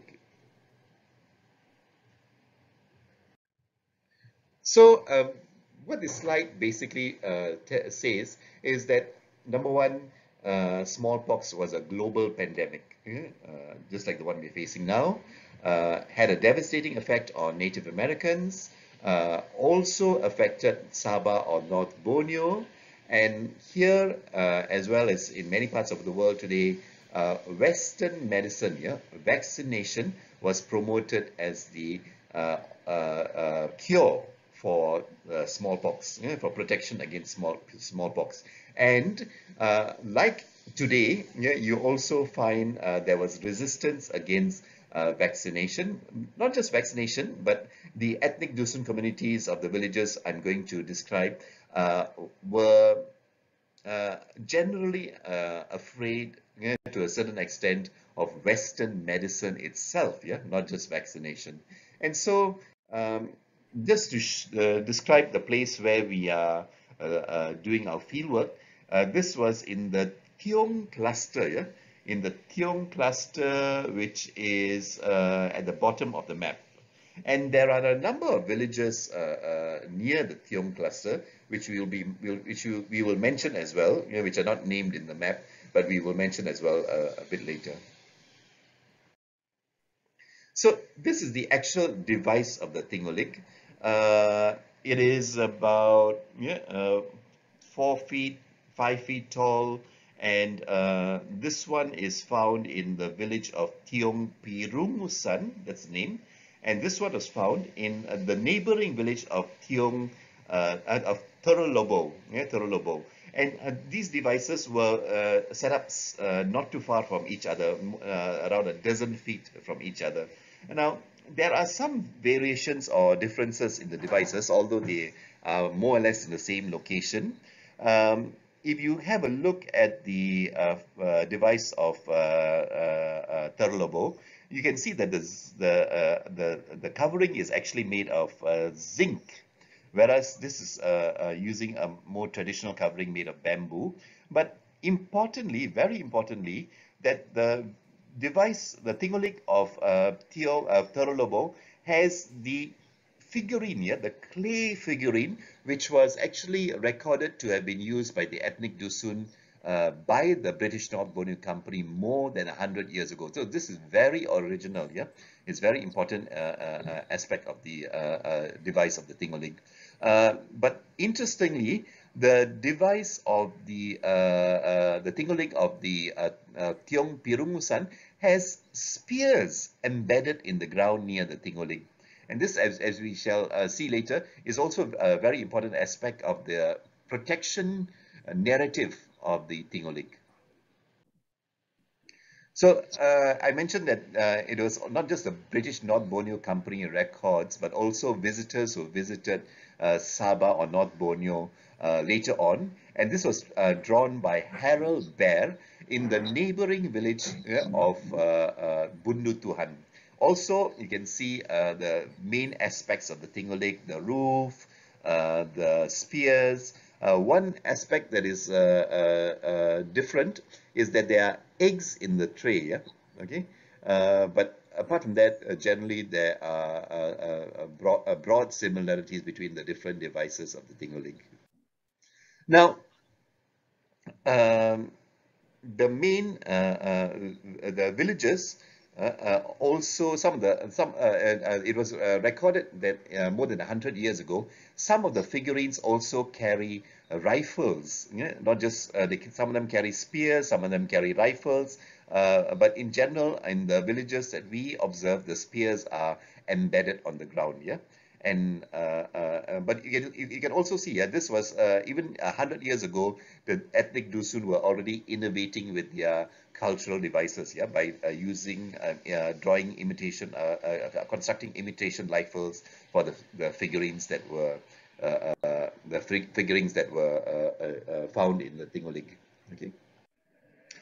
So since we are researching something that happened more than 100 years ago uh, even before, uh, probably even before the British North Borneo Company arrived in Sabah in the late 19th century, it is possible and uh, quite likely that the Tingolig had other functions before the uh, smallpox uh, pandemic struck.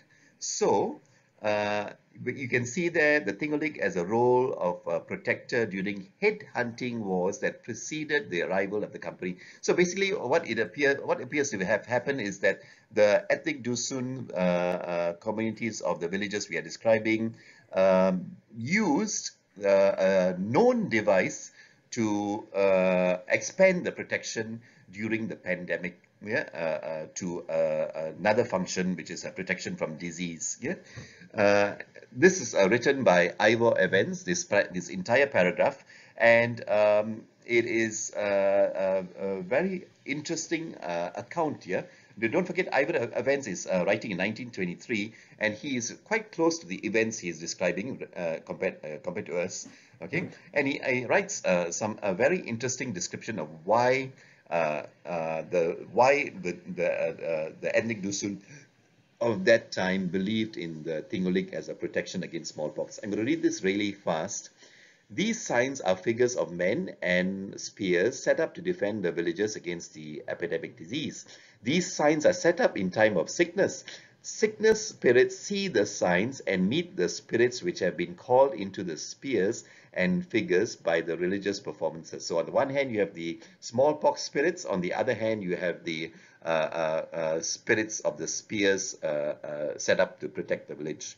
When the spirits of the smallpox are journeying in the country, they come to one of these signs and the spirits of the spear call to them, saying, the men of this village set us here to dispute with you. The men here are our men. You cannot pass. So it is settled that the spirits of the smallpox shall not enter the village. Yeah? But the spirits of the smallpox negotiate yeah, with the spirits of the spears of the Tingolik and ask them to point out another village to which they can go, saying, if you will show us another village, we will not enter this one. So it's like a bargain. Yeah? Uh, uh, uh, in, in the term in the in the Dusun uh, cos, uh, cosmol, uh, cosmology, this is like a bargain between uh, the attackers and the defenders. Yeah. this is the prayer known as the Renite obtained by my colleague Veronica uh, from uh, Madame Rompokon, who is a ritual specialist and who was uh, more than 90 years old when we uh, uh, interviewed her several years ago. Yeah, I'm just going to read the, the, the, the prayer in English. Take the rocks, get the pebbles, seven rocks arranged together, eight pebbles arranged together, and you get those for protection, get those for shielding, protection of the village. She's uh, describing her ritual, yeah, uh, that she uh, does while she is uh, at the site of the thing, uh, the the the Tingolig uh, at Torolobo, yeah, yeah at Torolobo. Okay, so she's describing what she does and what she says when she's doing the, the the the ritual. Yeah, we were, we were very fortunate to have someone who could recite to us the prayer said during the Tingolig ritual, which probably goes back more than 100 years. Uh, elements of the social and moral universe of the Dusun through the Tingolig. Uh, the Tingolig offered uh, village level protection. The Tingolig uh, uses items familiar to the Dusun. uh, it was, uh, in a sense, uh, for maintaining the physical well-being of the Dusun, which had uh, practices that would be considered animistic. So in a sense, the Tingolik was familiar yeah, to the Dusun, to the ethnic Dusun, as uh, opposed to um, Western medicine, which was new yeah, to the Dusun uh, uh, and in, a, in times of, don't forget this was in, in times of crisis, yeah, uh, uh, when the uh, Dusun were exper experiencing a, a, a pandemic. As we, uh, uh, uh, also important as, is that researchers who describe cultural practices in general and researchers who uh, actually uh, worked on uh, the cultural practices of the Dusun, give us explanations, yeah, why such a device, as opposed to Western medicine, would have comforted the Dusun, would have been seen as familiar, would have played a, not just a, a medical function, but a psychological function in uh, uh, uh, helping ease their disillusionment with disillusionment with what was happening uh, to them uh, during this time of uh, uh, crisis yeah, of the pandemic. And that uh, explanation is uh, also added to by the descriptions given by, again, Ivor Evans, where he gives an explanation why some villages eventually get infected. Yeah, and again, this is, uh, I suppose, part of the Dusun cosmology in explaining why, uh, in spite of the Tingolik, sometimes, I don't forget, Bundu Tuhan, uh, the village of uh, uh, Tiong Pirungasan, the village of uh, Torolobo, which are all uh, villages close to each other, uh, all had Tingoliks. Okay? And so this is the other explanation why, in spite of uh, uh, having Tingoliks, some villages uh, get infected. And so basically it says that the spirits of the spears or the uh, small uh, the, of the or the Tingolik spirits uh, were not able to keep their bargain if all the villagers have Tingoliks. Don't forget the bargain was if you show us another village, uh, we will be we will go to that village instead of coming to your village. So that when the smallpox spirits come back to the village and say, hey, you you uh, said you will show us another village where we can uh, uh, uh, uh go into and uh, and this time yeah, because all the villages have tingoliks uh, uh, the original village where the smallpox village uh, smallpox uh, uh, spirits went to now come back to and they say yeah you you weren't able to keep your bargain and so this is what the the tingolik spirits do yeah then one of one spirit of the smallpox finds a narrow path uh, uh, uh, to the back of the village and follows it with others behind him. There's no spear at the back of the village, but only facing the road by which the smallpox comes and they enter this first village where they try to enter. Okay, and so that uh, uh, uh, that means that the, uh, the uh, uh, smallpox village eventually come back to the same village and they infect that village if all the villagers in that district have tingolings. okay, so it's it's uh, it's uh, uh, uh interesting. Uh, it gives you an, uh, a, a, view, yeah, into how the Dusun ethnic Dusun, probably in the 19 late 19th century, looked at the pandemic. In conclusion, from this research, the Dusun resorted to Tingolik to protect their well-being. Uh, rather than uh, chose to believe in uh, modern medicines because of several factors. Uh, um, there was both a push and a pull factor. The push factor is that uh, the the uh, problems of maintaining a cold chain in a heavy, heavily tropical uh, uh, uh, forested area in uh, North Borneo or Sabah. So you can imagine even now we have uh, problems with cold chain in distributing vaccines. So uh, at that time it would have been even more uh, uh, uh, challenging yeah, to maintain a cold chain so that the vaccines, vaccines would actually be effective when they arrived in the interior of Sabah or North Borneo. And so uh, the, the company failed to give explanations, yeah, adequate uh, uh, explanations on why uh, the Dusun were still being infected by smallpox. And so uh, in that sense, uh, the Tingolik offered and was an instrument of hope among the Dusun of North Borneo in that era. and that is the pull factor, yeah, yeah, pull factor which allowed the practice of Tingolik to survive and to be uh, uh, commemorated even until a few years ago, yeah, and probably even now, yeah, if it, uh, if there are still ritual specialists uh, uh, maintaining the practice. Thank you so much. Thank you very much, Dr. Marshall, for that presentation. From the past, um, we, we find that uh, there are applications still today, you know, we still go through pandemics. And so um, our next, I would like to um, go to our next speaker. We will reserve the questions for our speakers in the end. No? Um, let me introduce to you our next speaker. Uh, he says he has internet problems, so um, perhaps uh, he can just answer questions and I can read it out later on. No?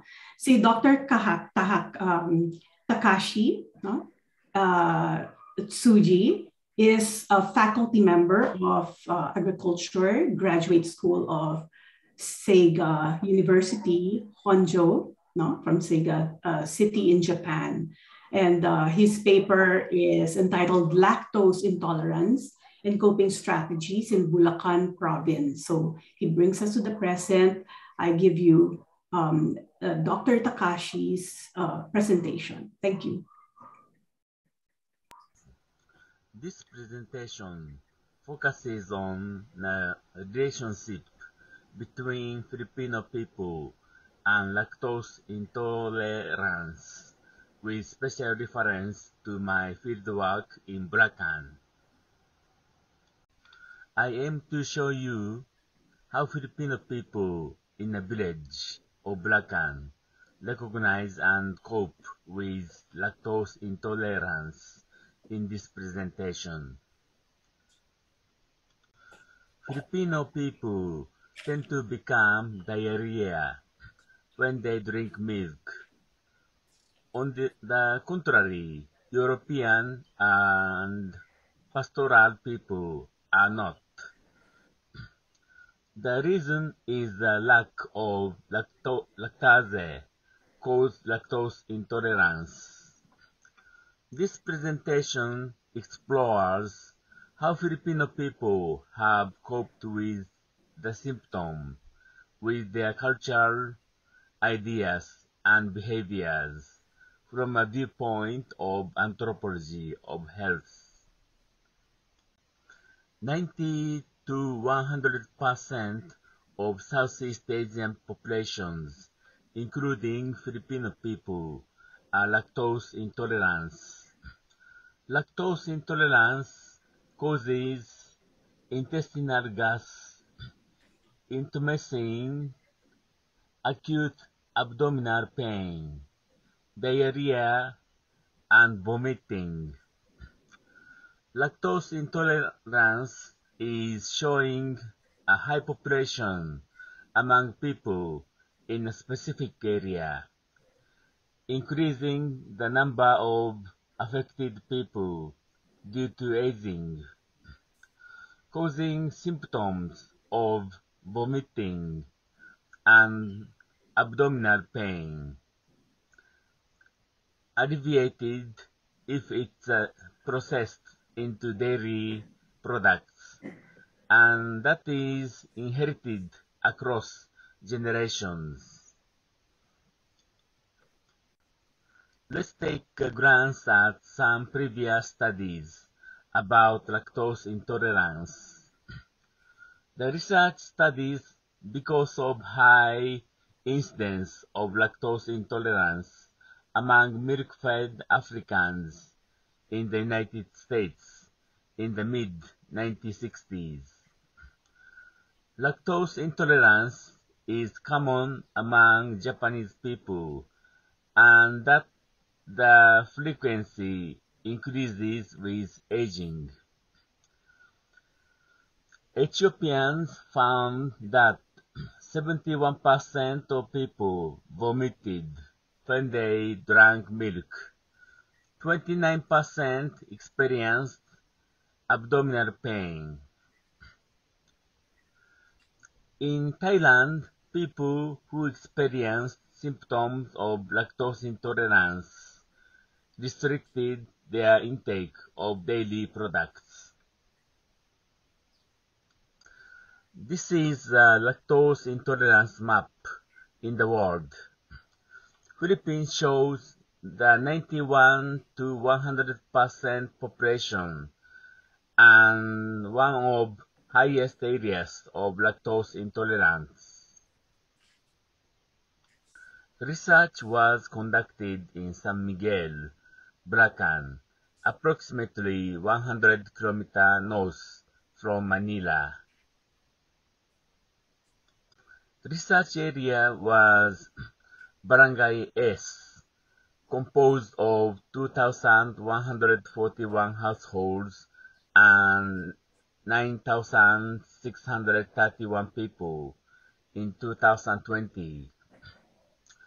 The targets were 50 adult Braqueños, 29 males and 21 females. Research periods were February 18 to 28, 2020, when COVID became a concern and one person refused to support my fieldwork. Research methods are based on questionnaire and anthropometric survey. Research language was Tagalog. The research site is a rice farming village dominated by landowners, and most people are peasants. The reason I choose this village was the fact people have milked water buffaloes from past and suitable to research about lactose intolerance. I collected anthropometric data of BMI and body fat to help investigating uh, lactose intolerance. However, it found no relations. I just share the data here briefly. People are mostly in obese. One, or obesity, although their economic condition is not good. Here, I would like to explain the results of questionnaire research. In the village, 48% of people drink milk, which is slightly higher than 52% those who do not. 92% drink uh, 200 millimeter glass or less, and 4% drink 2 glasses of milk. A total of 62% of the respondents said they drink about once a month or no more. From these results, the amount of milk consumed by people was small and milk is not a frequent drink. I asked about the symptoms of milk intake. 28% of people have symptoms and responded that drinking too much causes symptoms in the, the, the abdomen. I believe they are lactose intolerance, but this result must be occurred from questionnaire bias. If researched properly, the percentage will increase more.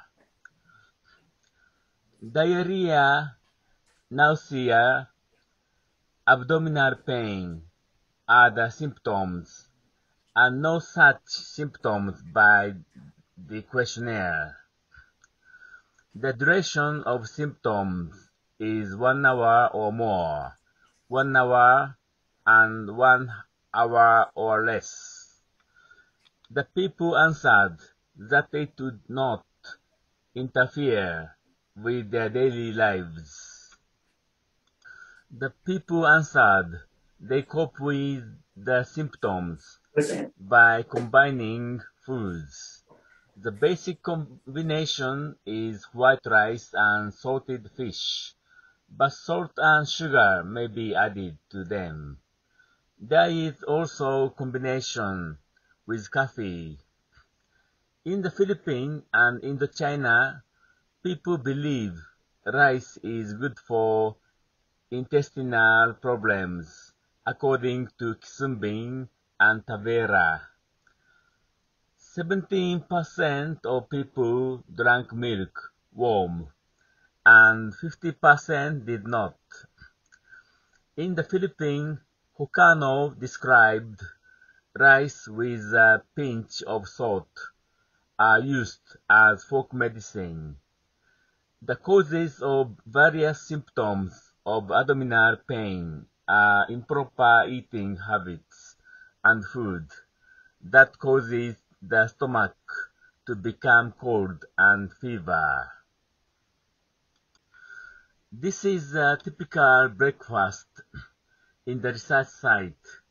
People pour milk on rice with dried fish, and this is one of their coping strategy for the symptoms. Lactose intolerance is included in circuit, but the people at the study site recognize it as diarrhea.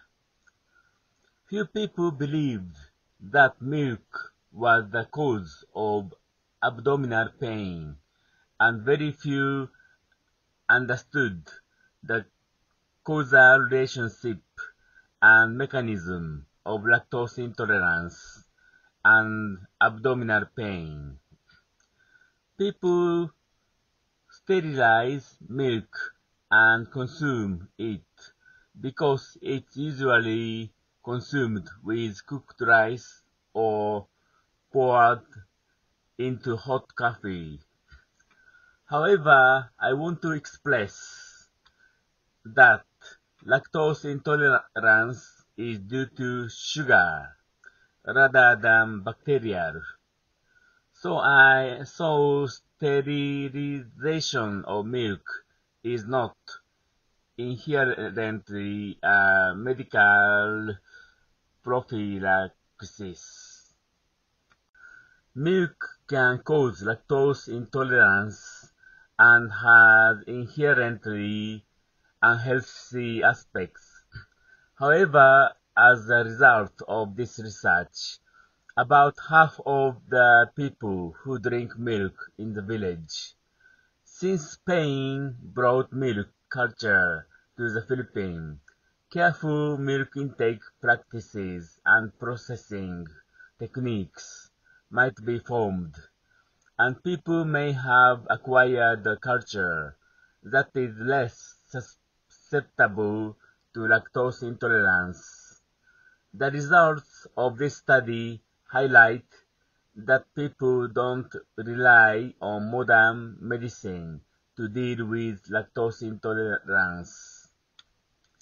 The people adapted to lactose intolerance by daring to consume a small amount of milk and customarily compensated for the lack of the gene. Lactose intolerance is controlled by lactose gene, after all. In the Philippines, dairy farming began after the Spanish colonization in 16th century with a history of only about 500 years. Filipino people had no contact with dairy until then and were not in the process of evolution for their body to adapt to milk.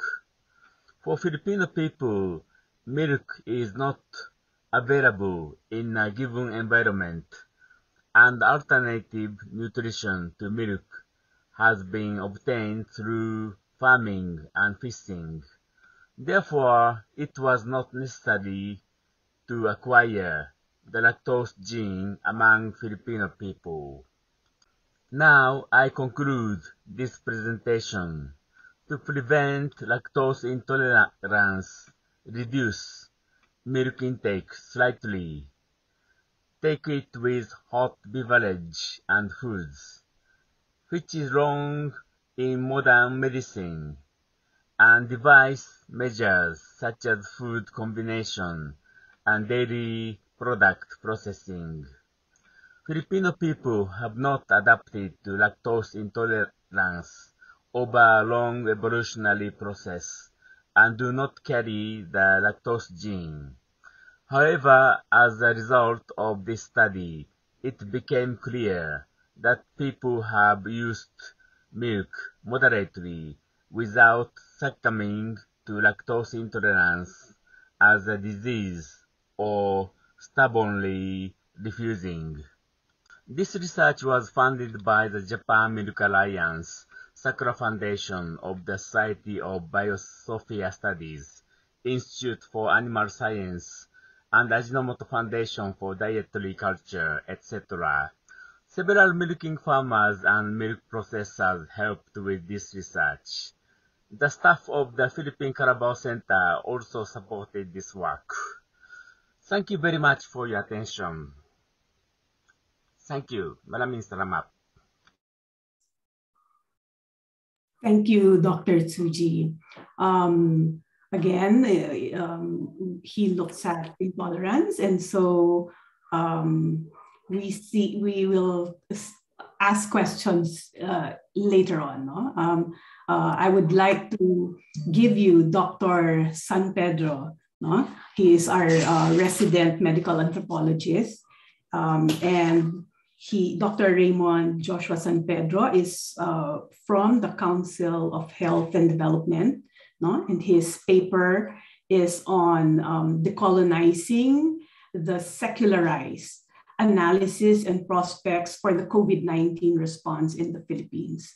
Uh, I, I turn you over to Dr. San Pedro. All right, good morning, everyone. Uh, thank you very much for the introduction. Um, okay. Uh, again, I'm Dr. Josh Pedro. I'm a physician anthropologist working with the Council for Health and Development as well as the Coalition for People's Right to Health.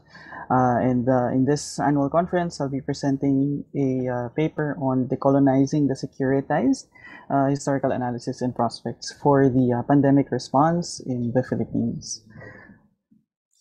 So this um, this paper um, comes from the experience of almost two years of uh, participatory action research uh, with community-based health programs and partner communities, um, as well as uh, public engagement with duty bearers and um, and the um, the communities and the general public and the mainstream media. Okay. So primarily, uh, we look into the COVID-19 uh, and the pandemic response in the Philippines. Um, a lot of these uh, we've seen over the past two years as um, not being necessarily new in having a pandemic. Uh, we've seen several outbreaks of infectious disease in recent history. Um, we've seen, uh, we, that was discussed earlier uh, regarding smallpox in the 18th century even cholera and uh, influenza. Uh, the Philippines had a major problem with um, with these diseases, especially during the colonial era. Uh, in, in a lot of them uh, continued from the Spanish uh, colonial period into the American colonial period and uh, caused a lot of problems, but also developed a sense of public health and an institution for it as um, created by the American colonial authorities. So afterwards, uh, in the Philippines, uh, in the uh, more recent history, uh, as an independent nation, uh, we continued to see several outbreaks. In fact, uh, dengue is one of the major causes of outbreaks in our country and was at one point even called Philippine hemorrhagic fever. Um, and that continues to plague our country to today as the dengue virus measles uh, came back uh, and continues to come back from time to time in areas especially where vaccination uh, uh vaccination has been low and um, there has been uh, a more recent uh, outbreak of that in Metro Manila and in populate populous areas. And even polio um, that even came back uh, in the Philippines as one of the few countries to actually move backwards in its polio control program.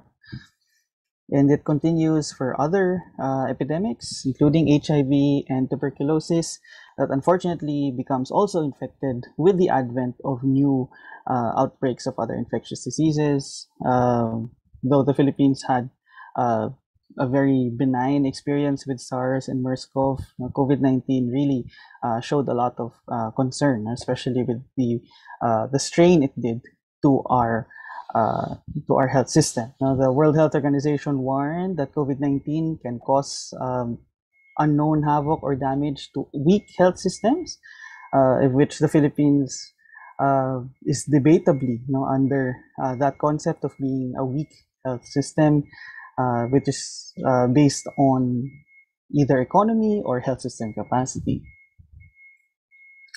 And we've continued continually uh, learned to live with the virus uh, through the longest lockdown in the world. You know, whether or not the lockdowns are effective or not is uh, continued continually debated, even among scholars and um, policy experts. And realistically, you know, the Philippines continues to be among uh, those least resilient or among the last to recover in terms of international standards. But um, a lot of this you know, we, uh, seems to be a major problem for the public health system in the Philippines. So, what are the dominant narratives and discourses on the COVID 19 pandemic response in the country? Um, given all of that, no, why is there a struggle really, despite being in one of the longest lockdowns in the world and still having uh, those kinds of uh, international rankings?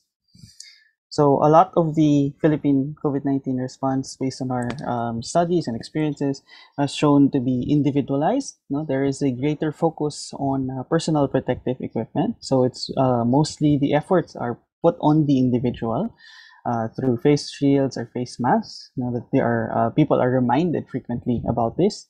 even uh, those among uh, the the COVID-19 response um, do emphasize that it is a matter uh, not really of, of widespread government intervention, but really a matter of discipline of the population. And that leads us to what Brown and Baker uh, have called as responsibilization. So individuals are responsibilized now because it is the responses are already individualized, but there is a caveat to that that they are responsible for these um, for for avoiding the pandemic and uh, limiting the spread of the pandemic in the community. So there is this emphasis on discipline, you know, that that um, the people have to be the solution to COVID nineteen, as uh, as seen in the uh, official um, discourse by by government agencies. You know that discipline is really the emphasis, and thus, um, if you do not follow, uh, you become a deviant no, or a pasaway. No? This leads to an exploitation of uh, the fear appeals. No? There has been a lot uh, the use of uh, fear appeals. No? The, for example, the use of uh, uh, takot ako sa COVID or I'm afraid of COVID-19, which is one of the earlier um, national government uh, campaigns no? in, in April to May 2020. this was something that that was promoted no, by, by several government agencies and into communities that people should be afraid no, and thus be responsible uh, to take matters into their own hands, into their own families, uh, to be disciplined in fighting against the pandemic.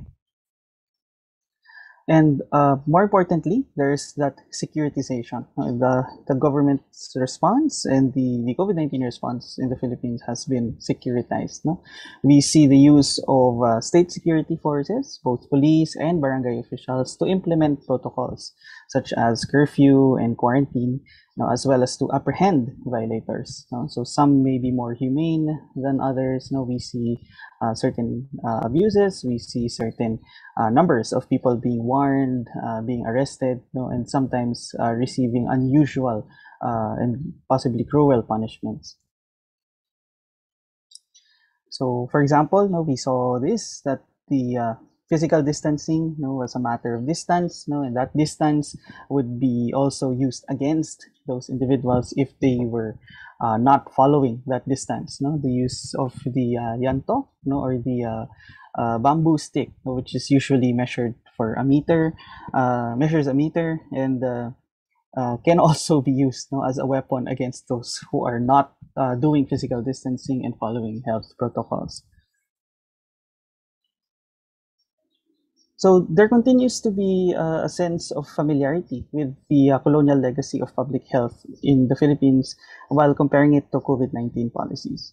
Uh, so um, a lot of the essence of securitization um, is multifactorial, but one major aspect uh, in terms of uh, possible scholarship is relating it to the colonial legacy of public health in the Philippines. Now, there continues to be a central uh, role you know, for a, major authority you know, in in both the American colonial structure and policies with the COVID-19 contemporary uh, situation. Now, there is a lot of military or security involvement in supposedly uh, health policy. Uh, of course, in the American colonial period, it was really a military government, so that explains a lot no, of the uh, the use of, of military officials and, and how uh, public health was really entwined with the uh, military structure. Now, we see that in in many of the artwork as well as the uh, the documents. Now we have a lot the historical documents. Now we have uh, we definitely have um, records and, and major figures you know, in, in Philippine public health who were also military officials. Uh, however, in currently, you know, we see that that um, a lot of medicalization continues, you know, that even daily life is being uh, controlled by an all-seeing body, which is the IATF or the NTF, you know, which can control um, the movement of individuals. It can control uh, what activities can take place, including uh, norm- supposedly normal activities like caroling or going to the gym. That uh, becomes uh, a major point where medicalization meets uh, the panopticon, according to Foucault. And uh, the, all these um, use of force you know, can also lead to violence and abuses that affects the wider aspect of trust in the health system or a health response. So, for example, another major part of uh, policies now seem to be holdovers from the American epidemic policies, uh, especially the Administrative Code of the Philippine Islands in 1917. Although this was made defunct in 1987 with the new Administrative Code, a lot of the uh, policies seem to be very familiar. Uh, for example, the use of uh, cremation. No, the, the World Health Organization does not specifically say that anyone who tests positive for COVID-19 and dies must be cremated. No, there is actually no um, explicit recommendation. No, there is still room for burial as well as cultural and customary practices. However, the Philippines seems to have generally adopted you know, this notion that somebody who has died of COVID-19 must be cremated. And this seems to be very much a holdover from uh, the administrative code, where it actually um, blatantly mentions and explicitly mentions destroying by fire as a form of uh, of disinfection. Uh, and the mandatory vaccination is actually part of the 1917 Administrative Code, um, specifically against smallpox. No? So uh, this continues to be a debate until today, you know, whether the Philippine government has that police power. Um, and a lot of that uh, is is sourced you know, from laws in the uh, American colonial period. So,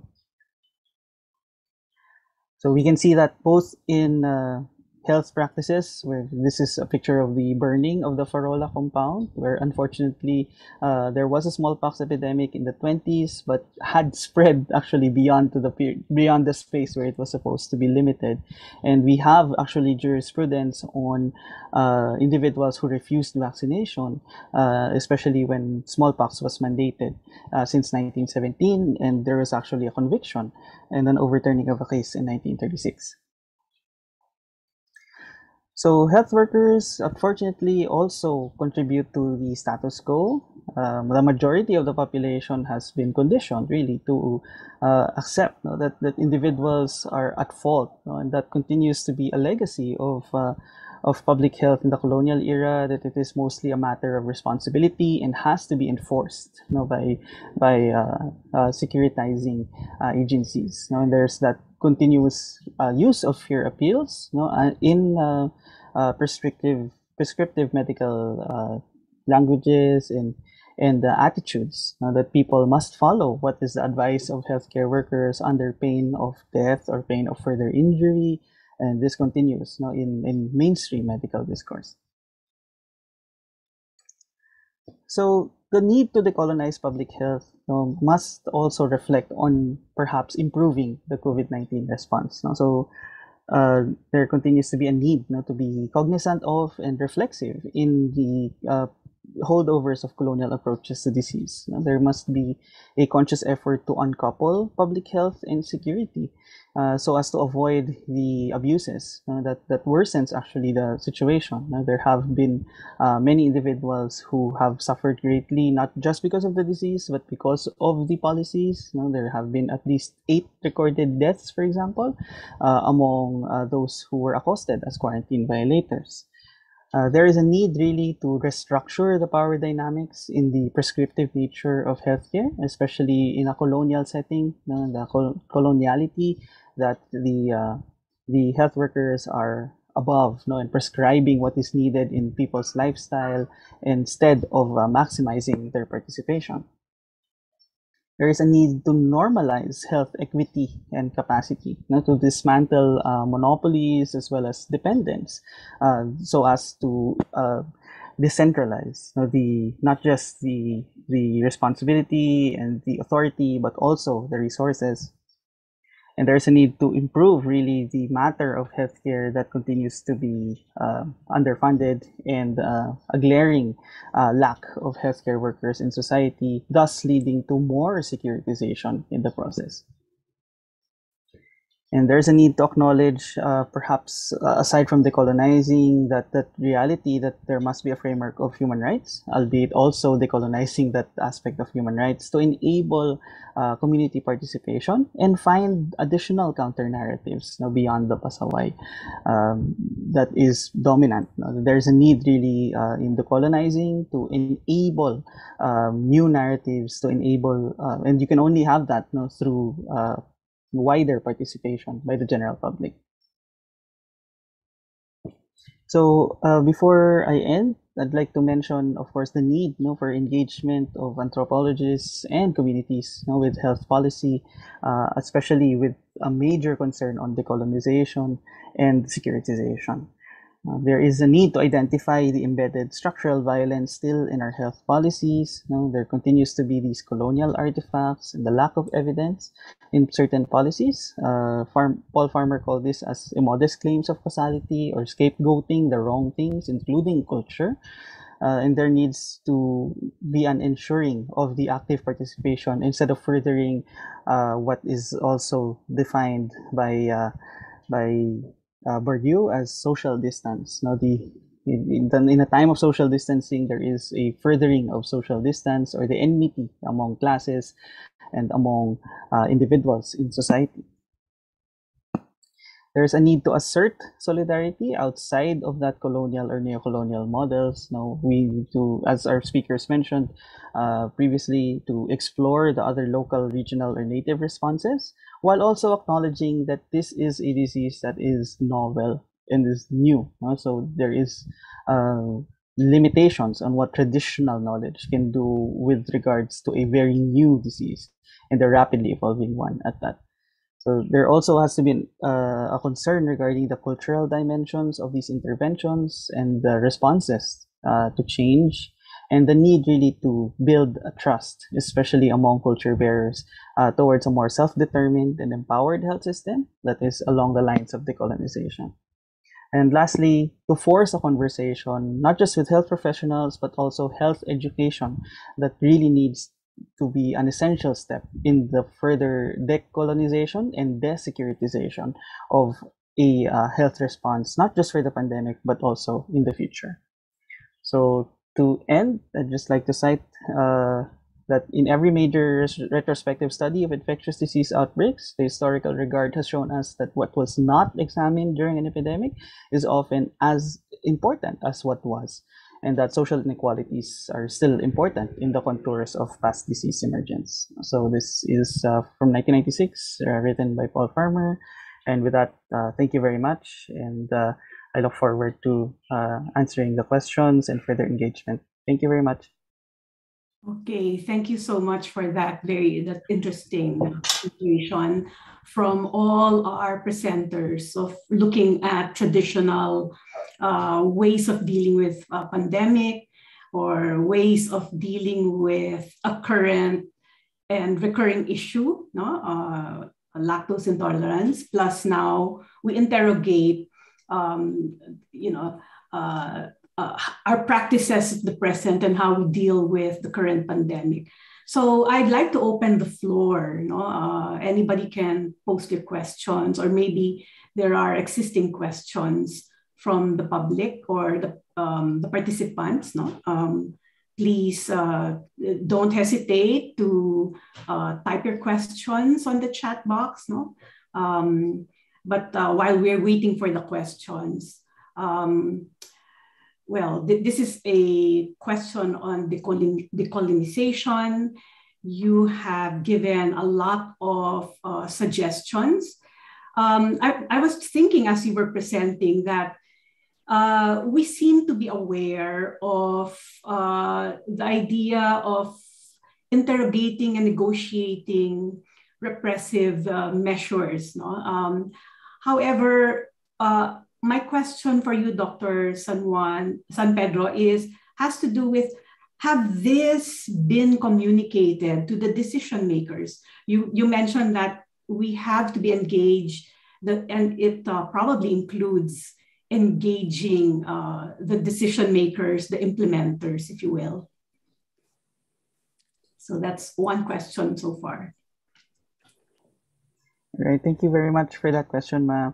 So definitely, it has been a major part to really engage uh, what I mentioned as uh, duty bearers, uh, those who really have a duty to implement uh, not just a pandemic response, but also a constitutional one, and um, uh, with regards to the right to to health. And and that has been uh, one of the campaigns that we have been doing as part of public engagement together with communities. No? But um, I guess one thing, if if the policies themselves uh, continue to be repressive and it is dominant, no, there must be a lot of uh, pressure to really bring out the counter narratives. No, that that is something that has been difficult, especially when we have um, uh, a leadership that can uh, uh, does not really involve a lot of the grassroots uh, in in the decision making. So that's the challenge that continues to be a challenge that we try to uh, use democratic spaces,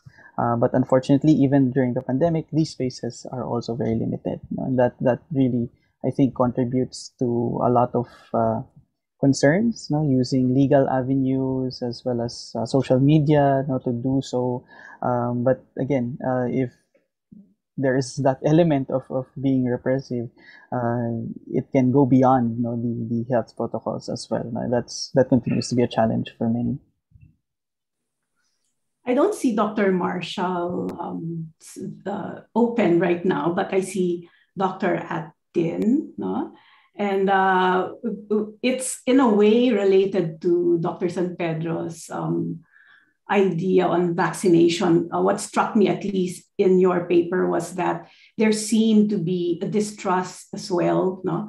Uh, from uh, your um, historical, yes, uh, now I see Dr. Marshall, uh, your historical uh, documentation and how distrust was um, a result of um, not knowing and unfamiliarity. No? Uh, maybe the question for you, for me now is that uh, what brought you or what drew you into being interested in this topic? Is it something that is uh, still seen? No? You, you mentioned that you still saw the structures, but do you still see some of these local practices in your area, in the areas you visited? Oh, you're, uh, you have to unmute yourself, Dr. Sanen. Dr. Marshall, yes. We're not. Maybe not. without without the earphone. Okay, yeah. I, am going to defer to my colleague uh, Veronica because uh, Veronica actually lives in the area close to Ooh. the. Uh, Veronica, would you mind? Hi. Yeah. Good morning. yeah. So um. Uh, sorry, I didn't really get the question, doctor. Is it um that are still people having the same mentality? Is is that a, a correct paraphrase of the question? Yes, because you spoke of the physical structure still present and still seen, but yeah. Um, yes, the question is uh, it, it, that must have been quite interesting for you. And um, I, I, see parallels in terms of uh, the structure looking like an isolation, is- isolating uh, uh, area, no? and that uh, you also have uh, resistance to um, uh, modern medicine. the question is are those things still apparent? I, I mean, are they still seen, seen today know, in terms of cultural practices? Yeah. Ah, I see, I see. Yeah, so I think um, it is more for the sake of culture that we still have those structures actually, because the people converted to Christianity and Islam long time ago. But our kind of Christianity and Islam, I think, perhaps is a little bit, you know, infused with culture because yeah, even though we practice, for example, the prayers, uh, um, it's predominantly Catholic. So normally they will use Catholic prayers for the um, protection of village, but they still respect all those old structures. So I suppose it is where um, uh, we still respect the culture, but at the same time we practice our modern beliefs on religion. Okay, so uh, the practice shifted from uh, spirits of uh, uh, uh, the metaphor of negotiation with the spirits, and then you see that today we also negotiate, no, uh, um, rules, no, uh, things that I mean the discourses and the approaches to um, a, how a pandemic would be moderated, right? Yes. Yes. No longer today, today a spirit of the tree is not not um, the old way of doing it anymore, but we still have the structures of Tingolig and all that so that we don't forget. I mean that it used to be like that. But uh, as far as I'm concerned with regard to the current pandemic, um, no one is uh, actually reluctant to have the vaccination. So that is something good. Okay, so there's now more acceptance today compared to uh, the early 1900s eh, and the, the, um, the 19th mm. century. No? Yes. Uh, but in the case of the Philippines, uh, there is uh, that uh, resistance. No, we uh, we still deal with vaccine hesitancy um, and there's still distrust uh, with medicine no, in some areas because in uh, the city, in, in some of the cities where information is available, then people are just uh, wanting to um, have their uh, shots. No, they're just waiting for their turn. Uh, Must be scary for them. so, um, Dr. Tsuji, uh, yes. I'm, I'm, not seeing questions in the chat. That's why I'm throwing all these questions right now. Um, would you would you say that lactose intolerance and the way uh, we have dealt with it um, uh, would be effective for at least for the group that you have studied. We haven't you haven't done any comparison with uh, a group uh, that really consumes milk, no? And so um, maybe we uh, in your study you saw that there was no um, uh, development or no need to acquire the gene that can you know break down the lactose but uh, it would be interesting i don't know if uh, you would find it interesting if there are comparisons with other groups in your um, search for those who have developed it in, in asia at least or in our area uh, i already uh, compared my research in indonesia beside the philippines Yes. And Indonesian people also have lactose intolerance more than 75%. But in Belakang, I just find out 28% because of my uh, failure of my research. Uh, anyway, Filipino people know how to deal with lactose intolerance without modern medicine by their indigenous knowledge. Okay, yes. yes. And uh, you, you're finding that it works, no? Whether they make the causal association uh, that yes. can produce uh, intolerance. Uh, in your findings, yes. by way of practice, are you you're seeing that it works? Uh, yes. For against the lactose intolerance, they have a traditional culture to make cheese uh, called queso putih or pastillas. It's a dairy milk product and it, they are uh, protection against lactose intolerance. So they have knowledge to prevent, from lactose intolerance. But locally, not totally in the Philippines.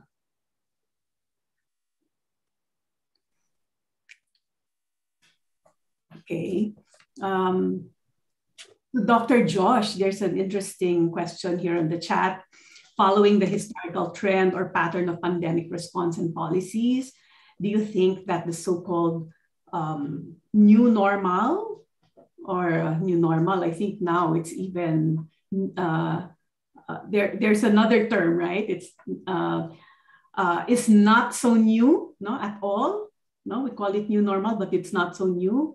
Should, uh, and thus should be problematized if we are to decolonize our current health approaches and practices.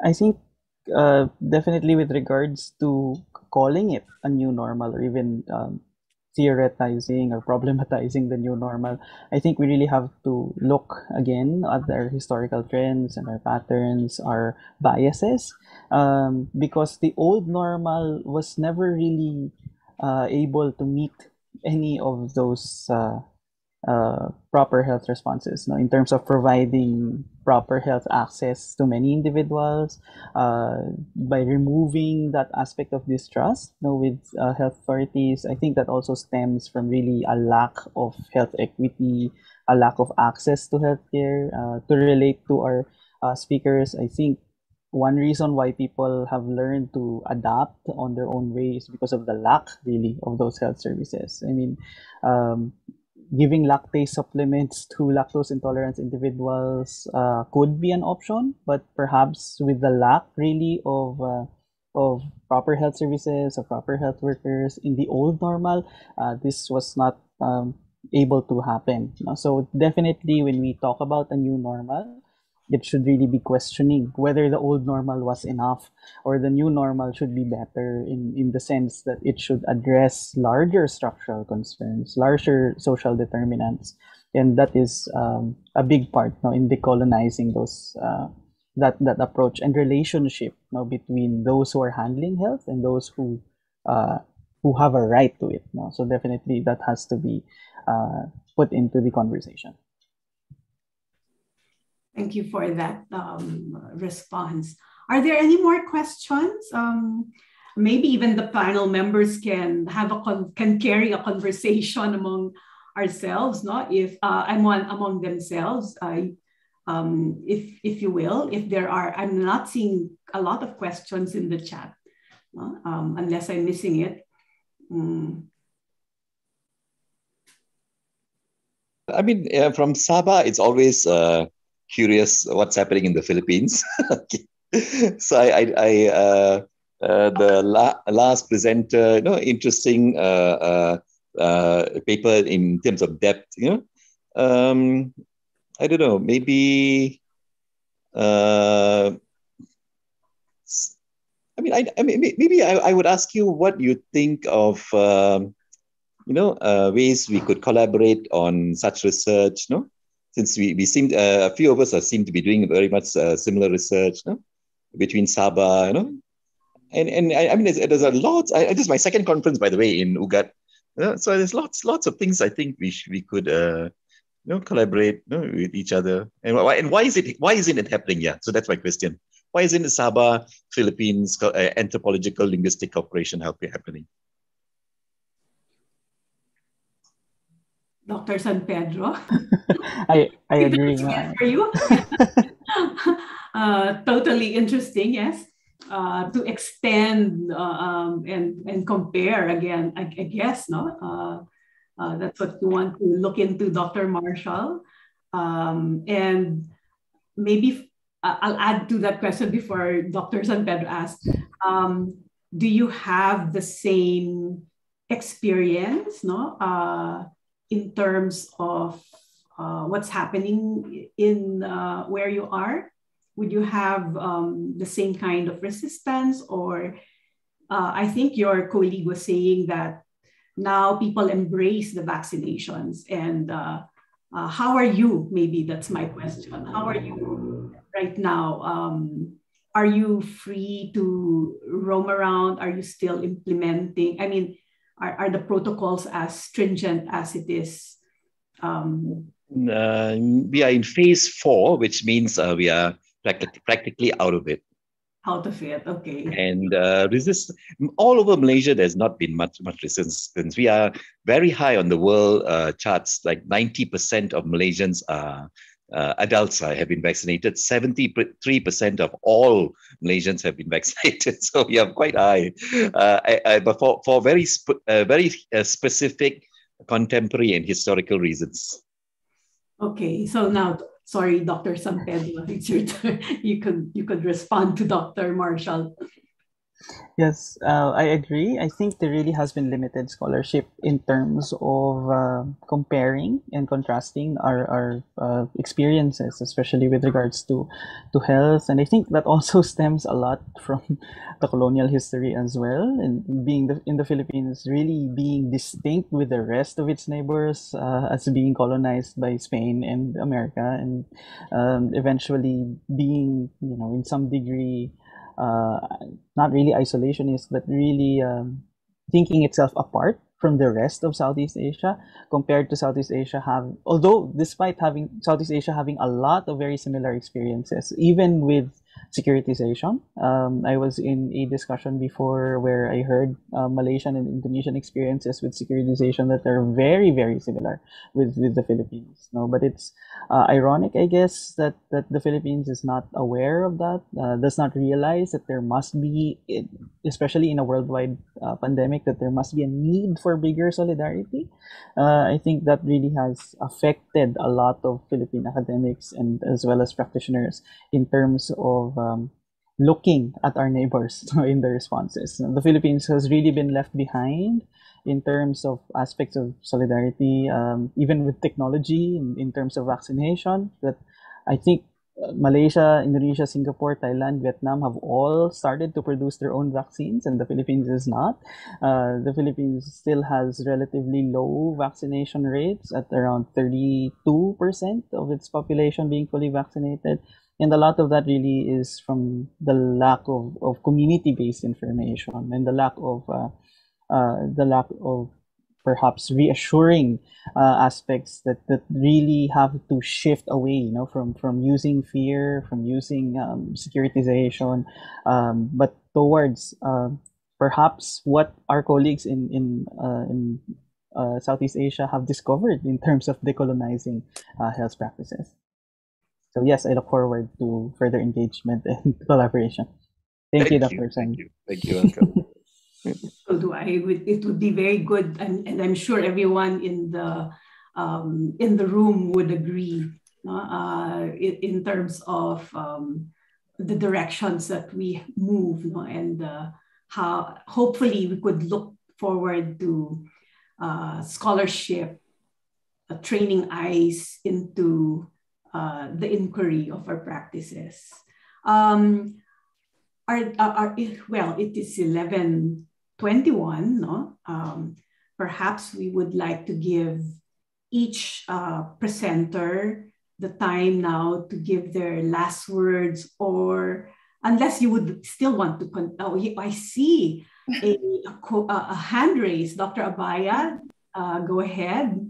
Hello, everyone. I'd like to ask Josh if he has some thoughts about um, how um, can, you know, our experience, your experiences and as a medical doctor can inform the teaching of uh, medical sociology or medical anthropology in the Philippines, I, I think we need that kind of material. And, and uh, also the idea of uh, sort of expanding our understanding of the ways in which local communities exercise their agency. You know, I, I want to know more about that. Um, in, yung mga concrete uh, moves coming from the ranks of, you know, ordinary people. And have you paid attention to this? Thank you. Okay, thank you, sir. Um, with the first part, I think with medical education, there really has to be, or even health education, no? with all our health uh, practitioners, with our health workers, there really has to be a need to have more of medical humanities, no, medical social sciences uh, in the discussion. No, there is very limited understanding of medical history. There's very limited understanding of how this has uh, influenced uh, current uh, discourse, current mindsets, current biases. Now that really have to be questioned. Now, the fact that um, health workers uh, who should be valuing uh, life are, are, you know are, are willing to accept uh, certain degrees of fear appeals or even uh, the the punitive approaches to health no na parang uh, yung what we hear na buti nga sa kanya or you know uh, the the uh, acknowledging the the misfortunes of others because they are pasaway you know because they are deviants no? that that continues to be a major aspect that has to be uh, uh, discussed, no? and that has to be part of the curriculum. I think that definitely has to be uh, part of the conversation with with medical practitioners, no? and also health advocates from communities. No? That that has to be an aspect of empowerment as well. And I think that also boils down to the fact that uh, we have limited amounts of, of health workers. No? A lot are choosing to go abroad and, and in communities are even less. No? Those outside the cities are even less. So uh, you already have limited access to, to health workers and, and health information and health services to begin with. No? And then you have these services that are, uh, and these, these individuals who are also lacking in terms of medical humanities. So it, it it worsens the, the problem. No? And, and, and in terms of the agency of the individuals, so when we try to engage them, no, the Philippines has in some degree institutionalized a sense of community agency through the barangay health workers, to the barangay health emergency response teams. But this may not even be enough because these are also politicized as well. Now, there are also that aspect that that even the agency of of uh, communities and health workers have to go along the lines of politics, especially that health in the Philippines is devolved. You know, that has a lot of of uh, of politics, even at the level of health services. No? So yes, there is some room for a lot of uh, agency among uh, community members in terms of health, no? but uh, with with without a structure for that, no? meaning a very uh, weak health system, a very weak health system, especially in marginalized communities, um, there will be that tendency for it to develop outside uh, the mainstream, no? and that can be beneficial, but that can also be deleterious, especially when we deal with very new diseases like COVID-19. So I think there really must be uh, an improvement of the structures, an improvement of the uh, dialogue and conversation among uh, the communities, the anthropologists, the, those in the medical sociology and medical humanities with education and the wider public. Thank you, Josh. Thank you for that. Uh, thank you for your question and the response. So, well, we have, um, I, I, don't know, um, and are there any more questions? Would anyone else want to um, uh, join in the conversation?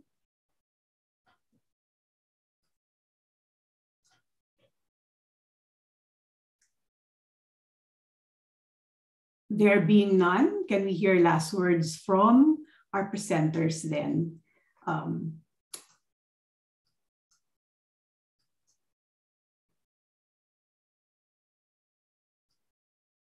maybe I'll, call all of them back and uh, they might want to say uh, one last thing yeah?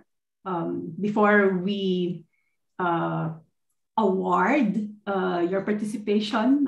Uh, maybe you would like to say one one liners no? How, um, what you would like to uh, how you would like to see um, the direction and we'll just have one liners regarding your presentation. Yeah, for, for the uh, sorry, can I, can I go? Can I go first? Yes, yes, thank you. for the for the for the future, uh, uh, even with, as we speak, immigration is a huge issue between Sabah and the Philippines. Uh, let's um, talk about it. Thank you. Okay, so there's one area of collaboration. Uh, yes, uh, Dr. Atin. Uh, yeah, so uh, I am so happy to be here today. And yeah, as Dr. Sanen, I would like to see more international collaboration on research in this uh, kind of themes. Thank you. So, Dr. San Pedro, I think you have a lot in your hands. uh, people would want to collaborate with uh, you. No? Uh, is Dr. Tsuji still here? Yes. Yes, I'm back. Okay uh, we were asked, we, we gave the floor for the speakers to give their last words. Uh, I think you were disconnected. So um, we're finding that in the future, there can be more collaboration. Uh, in your case, uh, what would you like, what message would you like to leave uh, the panel? The panelists, I mean, the yes. panelists as well as the audience, yeah? And anyway, we have to be healthy, especially uh, for the Filipino. Filipino need health, uh, but uh, some people cannot access to the enough health. So we have to give the health equally. So it's our work as anthropologists to create the happiness of the all Filipino people. Thank you, thank you, Dr. Tsuji. Uh, I think you you you struck a, um, a common point for for all of us that uh, inequity and that huge gap, no, um, is something that we have to address in whatever space that we occupy. And so, um, uh, Ido, uh, I would like to um, present uh, the, um, uh, the certificate. No? Uh, uh this is our certificate, uh, Ugnayang Pang-Aghamtao, no? together with the Department of Sociology and Anthropology, no? Anthropological and Sociological Initiatives of, of the Ateneo, and IPC, the uh, Institute of Philippine Culture, present uh, this certificates of appreciation to Dr. Sanen Marshall for, for, um, for presenting a paper on Tingolig, as well as what are the other certificates that we have. Uh, to, the same with Dr. Veronica Atien, uh, Takashi Tsuji, and Dr. Raymond Joshua San Pedro. Thank you very much for being with us and um, have a good day. Uh, oh, uh, before we depart, no, can we oh allow Dr. or is this is this still uh, applicable? No, um, there's another question apparently. So I awarded the certificate, but I, I see there's another question there um, for uh, Dr. Uh, San Pedro. I think a lot of questions are being directed to you, Dr. Josh. What approaches or strategies on how the locals, those who are living far-flung areas, no, especially in our country, uh, the Philippines, able to accept and balance their existing culture in terms of medicine, as well as the scientific approach, not just like our COVID vaccines. Thanks.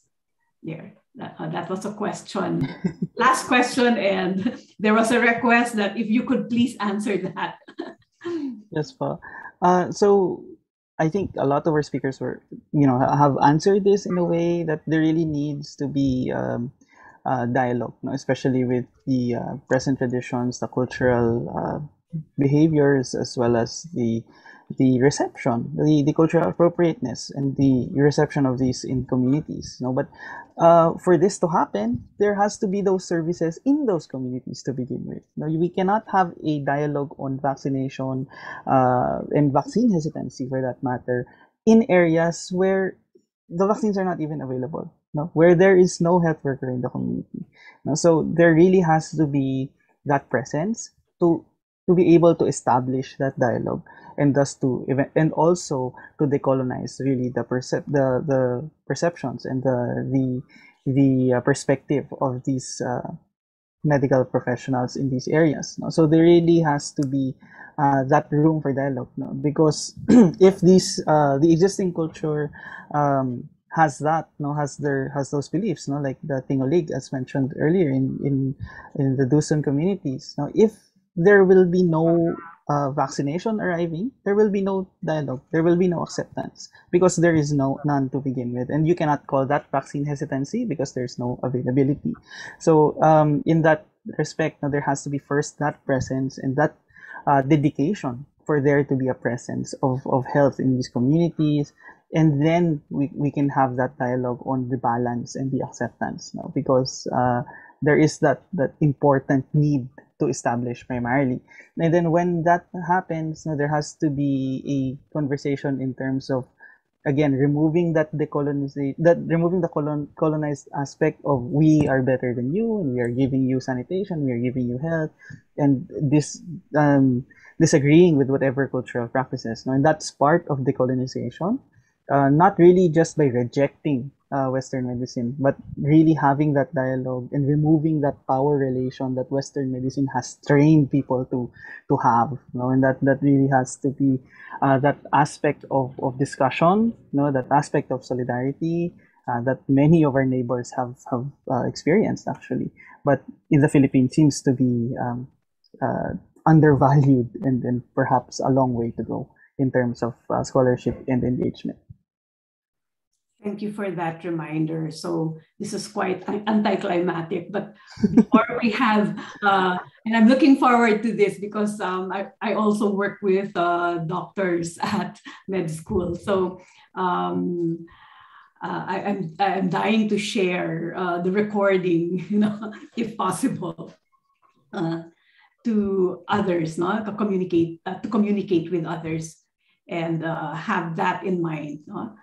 Um, okay, I think uh, this uh, we are good, no? But before uh, taking a break and having lunch, uh, may we ask everyone to please open your um, your video so that uh, Ido can take your our picture no, for this panel.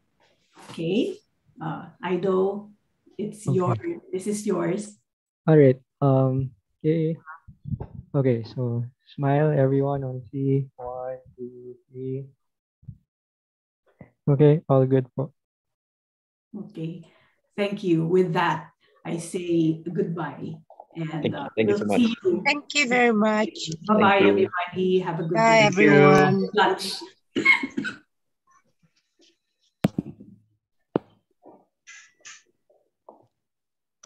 Sir Skilty.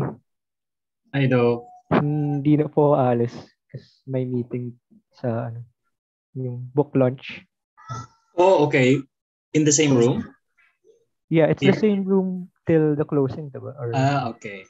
Ah, I thought may binigay silang link na separate. So, Oh, no. pupu- papasok mo sila dito.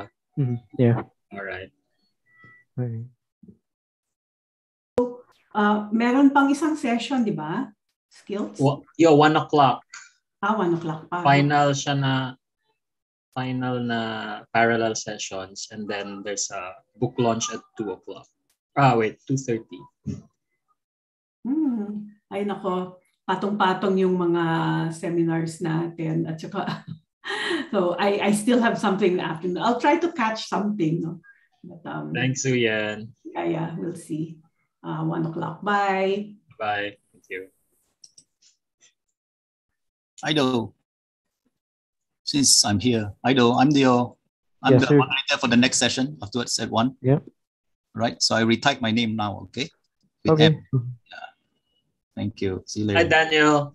Um, Good so- yeah, yeah. I saw your email about the rescheduling. Uh, re. right right and then uh, i just i just remembered um so after your panel it's gonna be a book launch uh, for gideon's book at 2.30 so if we can try to end by 2.25 at the latest uh, so we can have more time to uh, let people in All for the right. 2.30 one I can remind them to join.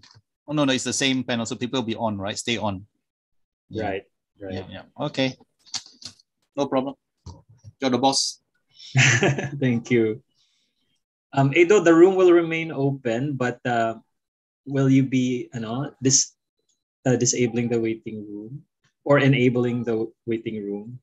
Enable ko na lang po. Uh, And then, for the participants, I'll place you sa waiting room na lang po, ah, the participants in this room. yeah. Thank you. Should we sir. leave the live stream? Ah, yes, we can. We should stop the live stream. How do I do that?